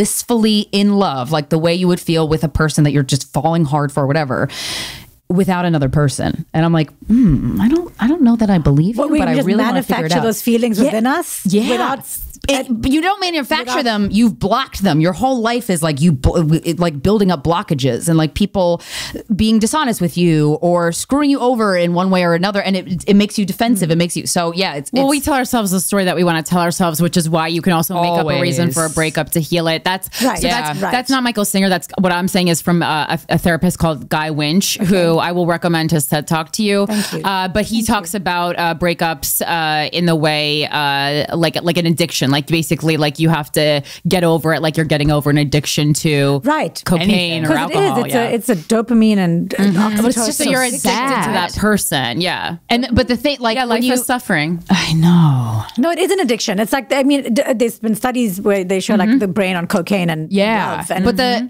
yeah exactly and I know but I know like with a substance like I've been heavily addicted to Adderall and coming off that I didn't get sad but coming off of a breakup I just get so sad I mean, it's- like it's sad as shit. It's so I fucking sad. remember this feeling, and I thought maybe humans forget so that we can continue procreating. Maybe. Um, I thought like or that we pregnancy, can be vulnerable again, you know, and then we Exact- don't that's close our heart forever. You You know? just, I mean, because it's it's just when you find someone else that you love. I mean, that's how you heal it, it. right? That's the only time you can heal it. That's part of the sadness of a Completely. breakup because you're like, will I ever feel this with another person again? That's a big And I don't part of the breakup. Almost like I don't want to. Yeah, I hear you. know, I hear like you. At this point in the breakup, you. I'm like, I don't want. I don't want somebody else. I, I want don't you. you feel the same though. You know, I mean, uh, the loves. Uh, so the love that I've had with people wasn't the same love. Yeah. I don't find it to be. Right. I find it to be. There are some qualities of it I think that were similar, but like the loves, in my opinion, for me Very were very different? different. Yeah. Yeah. So I don't. I, I mean, because I, agree with you. Like we want. Also, though, women have an obsession with things being unique, like love being unique, and it's not. Yeah, no, that's, that's Yeah, why- it is. What are you talking about? That's why you guys are like when you guys like so you got into a relationship with him and knowing that he was had all these avoidant traits. Because it'll be because it would be different could for you. it was going to be different Yeah. with us. I didn't even realize that because that's just how I operate. But you it's know, such so a not beautiful abnormal to me. quality. like it's a beautiful quality. Mm. to possess in life, and that's why we are successful in our career. Right. But it's a uh, Yeah. I, I think it's a it's a quality that in love hurts women, it hurts so bad. and it do, you, sucks. do you think? Sorry, I should ask you guys. I sorry, Oh, are you yeah, guys go single? ahead. Uh, no, I'm I'm seeing somebody. I I am yeah. I just want to know, like, do you find it hard as a female comedian dating? Do you think Yeah, that sure. plays? I'm sorry Yes. if you've spoken about this before. No, no. Uh, Never gets tiresome. Because, like, I mean, as I'm just wondering, like, is that are men threatened by? Yes. Sometimes, sometimes not. Sometimes they think it's cool. Sometimes they don't. I feel like if I lived anywhere else, I wouldn't have a problem dating. I think it's a combination of being a stand-up and living in New York City. Oh, surrounded by fucking tens everywhere. So I feel like there's this like, is there somebody better around the corner kind of vibe? when you say ten, you mean like look Like a hot, hot people, like a hot person. but like hot, successful, exciting, lovely. Like there's just a lot of catches here. I'm like, isn't being funny like so cool? It Not to is. men. It is really I- I cool. think- I I agree think with you. cool. But it's only cool to other male comedians. yeah. Yes. Right. Right. Which is what Or I other date, artists. what I date. Accountants don't think it's like awesome when you're fucking getting Yeah. zingers in at the business meeting. I wish they did. It's like the But first dating date a- was like crowd work. Yeah, yeah. what do you do? Accountant. Oh. Yeah. Well, I mean, Chris- Christine and I did an experiment on the dating app Raya where, you know, Oh. we went on with the occupation comedian and Krystyna no wasn't matches. getting any hits. And I said, change it to writer No or performer or ways. something else. And All she right, I changed it to writer. And she changed it and immediately. I got so many matches. Because I said, it's I'm not like, your, it's not your face. It's I not know my face. not. It's not my age. Because I'm It's getting my- nothing on Raya. Zero. Don't So, change it from writer. stand-up comedian. Are you serious? Uh-huh. Yeah. I thought that would be like You, no. I did too. like a swipe right. What What is- You I had a did beautiful, too. naive thought. I know. Wow. No, it's You- literally- I'm learning so much. Literally Yeah, the most wild. repulsive career that you can have. Yeah, yeah, yeah. I would say you could you could say I'm gonna try this. Etsy owner, store owner. zookeeper poop department, and, they, and they would be like, "Oh, that's she Wow, loves you know, animals. She's, She's nurturing." really going to be there for me when I'm sick. She'll pick up my poop when we're older. shoulder. Yeah, Yeah, yeah, yeah, yeah. yeah, yeah, yeah. Uh-huh. Yeah, no, stand-up comedian is not. Yeah, I really thought that was going to be like I the hear star on my profile. Yeah. Like, woo, and I love that. And it, like, I think, I think, like, I when- want that to be the truth. This is blowing my mind. Genuinely, this is blowing my mind. You changed your right and you got more hits. Yes. I got hits. like a lot. Zero. And I had hot photos. Yeah. Uh, Yeah. What? Okay. Yeah. I you never know what? I, you know what I should do? comedian. I should take it a step further and reactivate my Raya profile and just say, uh, like I'm a crafts. Uh, I do crafts or something like something like I- crafts. yeah. something like that. fashion designer. Yeah, yeah. Kindergarten teacher? I own a boutique. Oh, kindergarten, teacher. Kindergarten teacher. We'll have to get her security. Yeah, gentlemen, put your dicks away. My My, God, put your dicks away. out. Yeah, yeah. Little- not very much room for walking down the growth and nurturing. I mean, come on. Sorry, my mom's a teacher. Everyone, relax. Um, Yeah.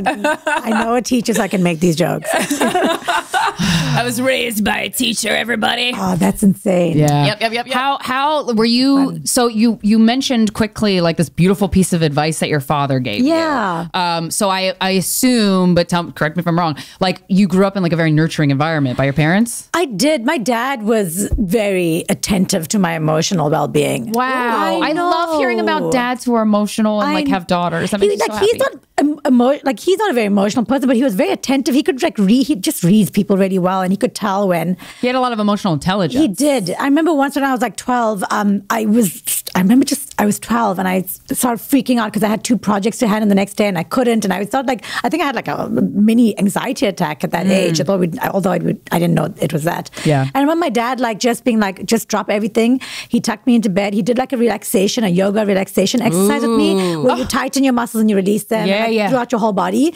And um, God, and then he like put me to sleep. And then the next day I woke up and he's like, I've called school. You don't have to go in today. You can finish your projects. And I was like, Nice. Yes. That's beautiful. Right? Oh my God, he was so there for you. exactly. And I don't think like he made a thing. He was just like, this No, is what my daughter in- needs right now. In tune to your mm. emotional needs and helped you. I mean, that's, fucking great. It is pretty great. That's didn't- awesome. Yeah, I remember this. I remember this recently, and I was like, wow, I, that was actually really, that was so sweet of him. Yeah. How about your mom? My mom's very loving, but I, don't think she always has the ability to understand me. Yeah, yeah. And that's that happens. kind of, yeah. yeah. So, um, and my dad does. And so that's where we are. My mom's also like, to be honest, like I've had a very tumultuous relationship with my mom. And Same. we're now like, I've, after six years of therapy, I actually, for the first time, feel a lot of like genuine love for her. Wow. Yeah. Oh, that's beautiful. Yeah. Did you go to therapy alone, or did you both go to No, therapy? no, no, by myself. Mm-hmm. Yeah. Oh wow. Do you mind? Like, I'm curious. What like was what was the breakthrough? Or what did you have to understand about her? I just had to understand she's her own person and just find Mm-hmm. her, like just find compassion for her and not expect her to change. yeah, and accept accept, the her parent that you got. Accept and- her for who she is and accept what she's done for me. And like and now I see it. Now I see all the great things she's done for me. And I for years I didn't. I just Oh, okay. remembered all the shitty things. Yeah. Um, Yeah, and I was just like, wow, like it's I I also the perception I had had of my mom was also very one sided. Of course. You know, and I was like, I forgot about all these good things. And mm-hmm. now that I'm seeing it, I'm finding love for her. Oh, that's so nice. I, I know. I, I never ever thought I would get to this place. wow. So you were you? So does that mean you were at a place where you're like, I don't like you. Like I don't want to be almost to like you. I know. I mean, I didn't talked about this, but yeah, I was like, I, I want to cut this toxicity out of my life. Yeah, And yeah, if yeah, I yeah. have to like cut it out. I know it's my own parent, but I don't know what else to do. right. I Right. I can't keep living like this. I can't keep going on like this. Right.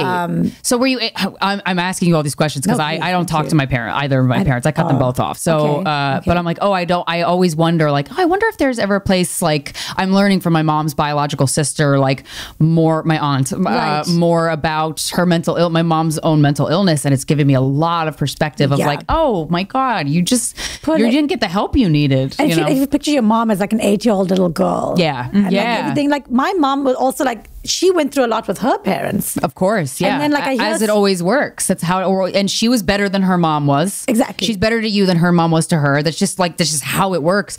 But it's like, how do you reconcile? Mm. Uh, you know, you didn't get what you needed, but the damage that it did to you.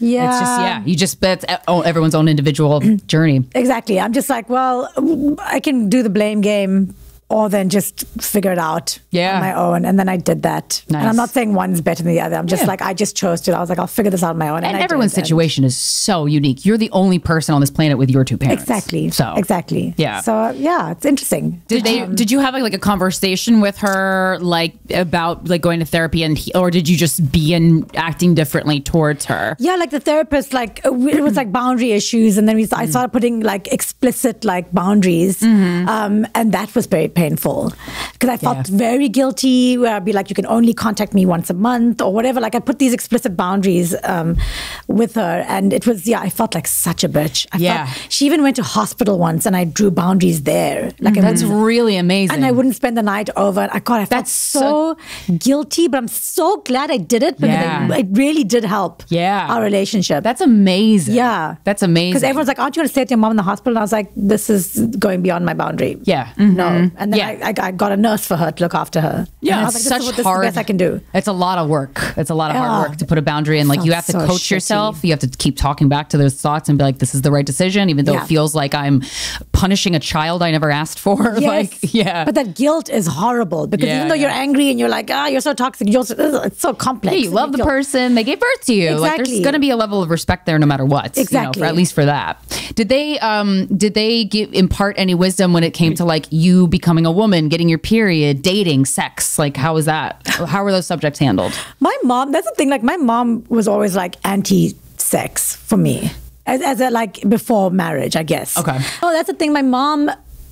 For some reason, my mom was a bit of a, she's a bit of a prude about sex. Like she's very sexual in her relationship. Okay, she just But- keeps it in her Yeah, bedroom. literally. Mm. Exactly, exactly. Um, but she was like, she was always like, I remember when I was 10, I was going to a Valentine's dance in South Africa and a boy asked me out to the dance. And then my parents like, gave me a sex talk then be like you know you, you can get pregnant i was 10 i had 10? yeah i, I hadn't even early. hit puberty Yeah. but they were freaking out about the fact i was going to a dance with a boy Huh. and they were like you can't go and then i just went to the dance and met him at the door and walked in with him which was what it, that meant then going to the dance with the Yeah. guy was like you just met him at the front door and walked in Yeah, Yeah. yeah. And then that's it. He's not putting his dick in me. No, we're exactly. 10. We're, 10, years old. and then when I was 18, my mom, before I went to university, my mom wrote me an email saying like, you will meet lots of men, but you must remember to you, you keep your virtues intact and like some, I don't fucking That was her way of calling you a whore. Don't be a whore. Yeah. And don't be a whore, It didn't work. And then Were you a whore in college? Yeah. Nice. And then I owned up to everything. That's when I learned like giving information really can be very useful in the sense. Right. I would like hook up with people and then my brother also, also was like, don't like, if you hook up between people, you'll get a bad reputation. Mm. And I remember just being like the next morning, just going to the canteen and being like, this is who I hooked up with. And then everyone's like, oh, now we can't bitch. Because she, cause she said it. Now it's yeah, like, yeah.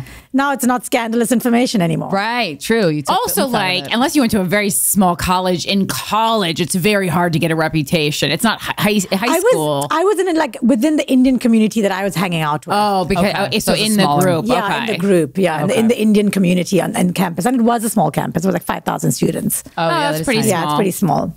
But yeah, so my mom kept like being like, A little passive with it. yeah, and then um, and then I got married, and then I got divorced, and then after that, she just was like, How old were you when you got married? twenty five. I was a baby, little baby. Yeah. How did that? how- What like? And how old was the person you got married to? six years older than me, so thirty one. Okay. Um, I met him in India. Uh-huh. I, I moved to India on a gap year, and then I just never left for 17 years. Um, and I met him there, and I was like, "Oh, this is perfect." I met a husband, and I really did grow up. I had no ambition. I- Really? yes. Really? I had, A man ma- gave you ambition. as in a man. The, the divorce gave me ambition. oh, I knew there was a catch. Okay. A man, uh, not you, a man. you leaving a man gave you ambition. yes. Okay, because I was I was about to be like, this is a guys be fucking exclusive. I was like, the research I've done in the past ten years just went down the drain. Men are useful. what? They, they have They value. inspire me to be a better Person? They have value. yeah, no, it was just I I've just never heard a story where a woman gets married, stays in the marriage, and then things get better. no, exactly. No, that's so. And I would love I would love to. I would love to we- hear we're that open story. To, we're open to that possibility. yeah. Yeah. So how nice. how you, how long did you guys date before you were married? like a year and a half, but it was like an arranged marriage sort of situation where Ah. where it was arranged from his side, it was love from my side. Oh, huh? That's Because- that's That hurts. terrible. yes, because I we were from the same uh, community. We were both Muslims from the same community, and Okay. so when you meet someone from your community, that switch is already like potential. Right. Like it's not like a random A lot to have in common. Exactly. And then we're like, oh, this fits perfectly into my world. My Yeah, parents yeah. will approve. Everything will just work well around this. And so he was looking to get married. He met me. I was, I grew up in a very liberal household. These kind of things weren't, apart from my mom giving me sex advice, like trying to keep me like, uh, um, Don't be a whore. Yeah, Right. Don't be a Because your, your parents was a love marriage? yes, they were love marriage. Okay. They were a love marriage. So like I grew up in that, Yeah. that household. So I was Clearly, dating they him, made a like- sex tape. Well, you don't do that when it's arranged. But so, I sometimes I, arranged marriages really they, work do, out. and They I honestly do understand the concept Yeah. because people get in their own way so much that it's like nice to have a matchmaker. you know? Exactly. Yeah. And then you're like, all right, I'm just going to leave this up to somebody else. Like, Yeah. that's my plan next year is to give my friends my social media um, um, password and ask each friend every week and then ask them to set me up with a date every week. Because I Yeah, don't that's a good trust myself that I'm not going to be attracted to another avoidant. A tr- yeah, yeah, yeah, yeah, yeah, yeah, I yeah, don't yeah. trust myself. I hear you. I'm I scared. hear. That's the only thing I'm attracted to. Right, right. I wonder why. Why do you think that is? I mean, I have Avoidant mom, or maybe. Oh, yeah. I don't know. I, it's not always the parents, I but know. like they're, they're always as much as Well, I if you're setting blame up- every one of my faults on my parents. It is not always the parents. But if you're set, if you had to set boundaries with her about contact, it seems like she's contacting you too much, which would not be avoidant.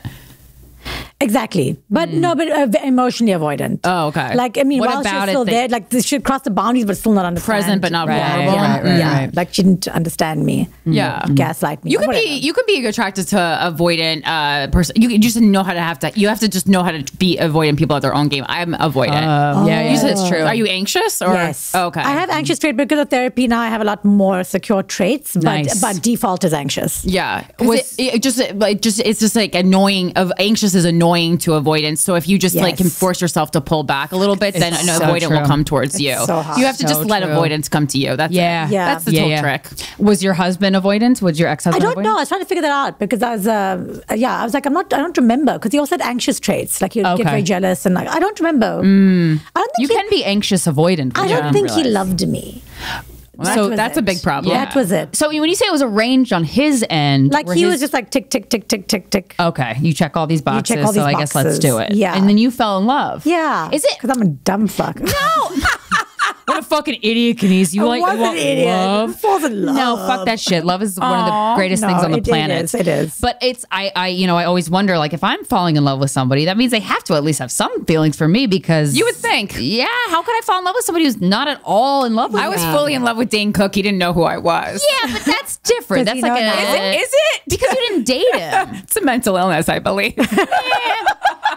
Does he know that? well, but you he never- he know he knows now. But I mean, this He's was like, dating like a 22 year old now. That Yeah, I know, He's yeah. married. He's he's engaged, but like no, no. This was like when I fully was not a comedian, just in college. Like, it, it- and then I ended up telling the story at the comedy store in front of him, and he thought it was he thought it was Oh, funny. Did you know he was there? Uh, I didn't know he was listening. I knew he was there because I was about to bring him up. That's why I was telling Oh, the story. oh, right, Yeah. right. But uh, I yeah, videotaped him I just assumed he it. wasn't paying attention because he's a famous comedian. Why the hell would he listen That's, to what so, I was saying? that's a great story. But but it, but it's different when when the person you're, you're actually dating and you're getting married and you're falling in love, like in your situation, Yeah. Kaneez. Ha, there's no way he didn't have feelings for he you, was right? fond of, he did have feelings for me. He liked me. he was fond of He you. was fond what a way me. to put it. Yikes! yeah. Yeah. Gosh. How, how did the how did the how did these inklings of like I don't think you're in love with me first start popping up? um, when we just didn't have sex. For how long? Like what? It, we, just, we struggled with it. And listen, I'm not blaming him. Like, I, it was also like, I, as an anxious, I would also just, like, there was so much stress around it. I also caused, like, it made it a very Yeah, yeah, yeah. stressful situation to be in. I've been there. Yeah. yeah. so Making like- sex a big deal is the worst thing Uh, that can happen for yeah, sex. and it became so stressful. The whole thing. yeah, so yeah, just- yeah. He avoided it because not. I mean, he was just like, I don't want to get into that. So I don't even think it was like, I don't want to have sex with you. It's like this is. It was the combination of the anxiety attached and then if, it. if something Yep. like something doesn't happen, or if I don't, if I'm not erect, then you're gonna think I'm rejecting you. Then like you'll start crying. Like, it's, and so Yeah, I, yeah. I'm not blaming myself. I was like, we had parts to it's the combo. yes, it's a combination of The both. combination was not a, a fruitful uh, environment for love, to, for like true love to blossom. Yeah, and I think like if I like you know I always think like if I I wish I knew what I know now then it would Mm-hmm. Which been very different. yeah. just everything that I know now. Yeah. like I would just have been so different. And but obviously I don't I wouldn't know everything that I know now if I didn't go through that. So, I know. But, um, Experience is the fruit of life, or whatever. So I can only apply it now to future relationships. that seems like it wasn't the person for, for you anyway. No, it wasn't. Uh, he wasn't. Like he was also like he wanted a, a traditional wife. I don't know if like he What does knew that mean? like he just wanted like he like even like he was also Muslim. Like I said, we were the same, um, and he was like, I want my kids to be Muslim, and it's a mother's duty to impart religious knowledge on children. And I was like, Wait, the dad doesn't have to do it? I like that's it. like he was like Part the the mom role? would yeah that part of the role and I was like well I don't believe in Islam and I don't think that's the only way forward like if they choose it I will support them but I, Sure. I will have to tell them that there's many options Right. or no options whatever Nice. but uh, and I remember like the day before he was going to ask me to marry him we got into a huge fight about this Oh, And that's at a big the end of the fight he was like I was going to ask you to marry me tomorrow and I was What a proposal. Hell yeah. And you were like, wait, wait, wait, you can still ask. like, exactly I was like sure I'll be Muslim Allah Akbar please don't reject me That's such a 25 year old so response. funny. Gosh. Oh, it's funny looking back at it. You know what I mean? Like it's funny, Yeah. funny in hindsight. Um, so wait, then at the end of this conversation, when he said, when he reveals this to you, were you like, you could still do that? I kind of. I don't know. What, we made up, I guess. And then the next day, So what about that question you were going to ask? yeah, the next day he did ask me. Wow. Was it like a lackluster ask, or was it like no, it was cute. Okay, good. He did a little cute thing that I told him to do for my birthday the year before, but then he used it for the proposal, which So is I'm right. very fond of you. Yeah, very fond of me. How did it He go? said, has he said, like he said, I love you during the marriage? Yes, yes, yes. He said he loved me. Okay. when you, Uh, I think he did. who brought up divorce first? I I made the decision in the end. Was he like what? Just- or was he like, yeah? No, no. We decided we were like we got married, and then we went partying the next day with like all our friends and family came for the wedding, and we got into a huge fight, and we were like, we need to get divorced. Like a day after our wedding, we are like. We need to call this. We need to call it quits. And so it was just a succession of like e- like in the three years we we're married, which is like like every two months we'd be like, we need to get divorced. We need to get divorced. we need to Oh, yeah, And then that's a sign. eventually, That's a oh. sign. yeah, obviously, Yeah, yeah, yeah, yeah. So you always kind of knew. You're just like, well, we, we did the. Did yeah. it, but so then we tried. try. We tried a sex therapist. We tried a hypnotherapist. We Hip, tried. wait, like, hypnotherapist. yeah, like a past life regressionist. Like, Whoa! Yeah, Oh, yeah. you're speaking my language. Really? I love past life oh, regressions. Oh, yeah, Dr. we- Brian Weiss, Many Lives, Many Masters is one of my favorite books. But Oh, also, yes. if you got to go into past lives to make that, that's not good. it's probably not a good. We were, I tried everything. Yeah. Did you discover That's you have cool. past lives together? Yeah, yeah. Yes, he was my mother in one. Ah, Ooh, interesting. I discovered Was that one my of stepmother. Sorry, whoa, and he loved his real daughter more. Oh, uh, juicy. Yes. So just repeating the Dude. similar feelings. Something. Past Yeah. lives are the most incredible portal into like explaining what the fuck is going on in your head and Yeah. certain relationships with people. It's wild. I mean, I, I I believe it for myself. Yeah. I think there was some like it helped me in some way. Well, how deep did you? Okay, so I've done this, and I feel uh, I feel on the fence Yeah, about it. yeah. Um, uh, how like deep into a meditative state did you get before this happened, or did someone just completely do it for? it? Like, how did it? How No, so that's the thing. Like I, she get- hypnotized me. Tran- yeah. So trance is or uh, hypno- hy- being hypnotized is like a really high focused uh, concentration meditation, usually about twenty to thirty minutes. I don't even really believe that everyone that's- everyone can't be hypnotized, and I, I I truly believe that I'm someone who can't be hypnotized. So here's the thing: the only reason I recognized it, I was like, "Whoa!" Yeah. Because even when I was in hypnosis, she was like, "Okay, what what image do you see?" I was like, "I see a river," and I was like, "I feel like I'm making this up because I watched Yeah. a show that had a river in it me last too. night." I felt like I was making up the whole thing. and I was saying it. I was saying she's That's like, normal. She's like, just continue telling me what you see. Right. The only the only re- reason I thought like, "Whoa," was when I woke up and I was like, "Okay, that was ten minutes," and it was an hour and a half. Yeah. Yep. And that's when I was like, "What?" Like, Yeah, a lot of past life. When Dr. Brian only Weiss does it, he does it for three hours. The sessions are three hours. And I thought it's a I lot literally of- thought it was ten minutes. I could hear the like the fan whirring. Like I was so aware. that's one of the So I was reasons like, how why did that feel like ten minutes? you know Yeah. it's real because what one of the, you you'll never really know if it's real Yeah, yeah. but uh, that's one of the one of the attributes of like a really legitimate re- regression because you're going to a place where time doesn't exist because Right. time doesn't actually exist it just exists on earth so we can like you know schedule shit allegedly schedule shit. yeah yeah like your Great. interview Yeah, you know? yeah. so when you got divorced from him were you like yay i'm free Yeah, I did feel relieved. Nice. I did feel, re- and that's when I was like, because before that I wasn't ambitious, and, and I, like, while I did grow up in a very liberal household, I it was also I. I also was conditioned to believe that a man would provide for me, okay and would give me my security. And so even in university, I was like, whatever. I don't have to find a career because I kept stopping and changing and moving to India. I was like, oh, like Yeah. just floating because I was like, when I find a man, then I will, you know, I'll be secure. right Um, and that's when after I left, and I was like, oh, I makes you put a lot more weight on meeting somebody, doesn't it? Like when you start falling for somebody, you- you're also like, oh, love, yay, but also security. Yeah.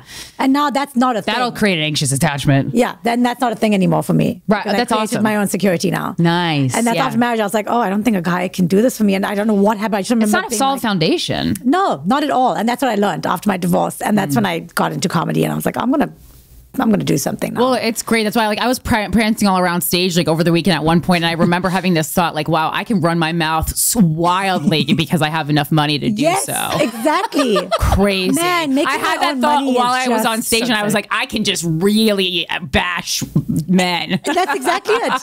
That's exactly it. I don't great. care. Freedom. It felt fucking great. It feels exactly like even like. I felt bad for the other woman in the audience. I'm going to be honest. did you just oh, go? oh, because they can't Because have they that didn't freedom. have that security. I go, Yeah, yeah, yeah. We're gonna trade, bitch.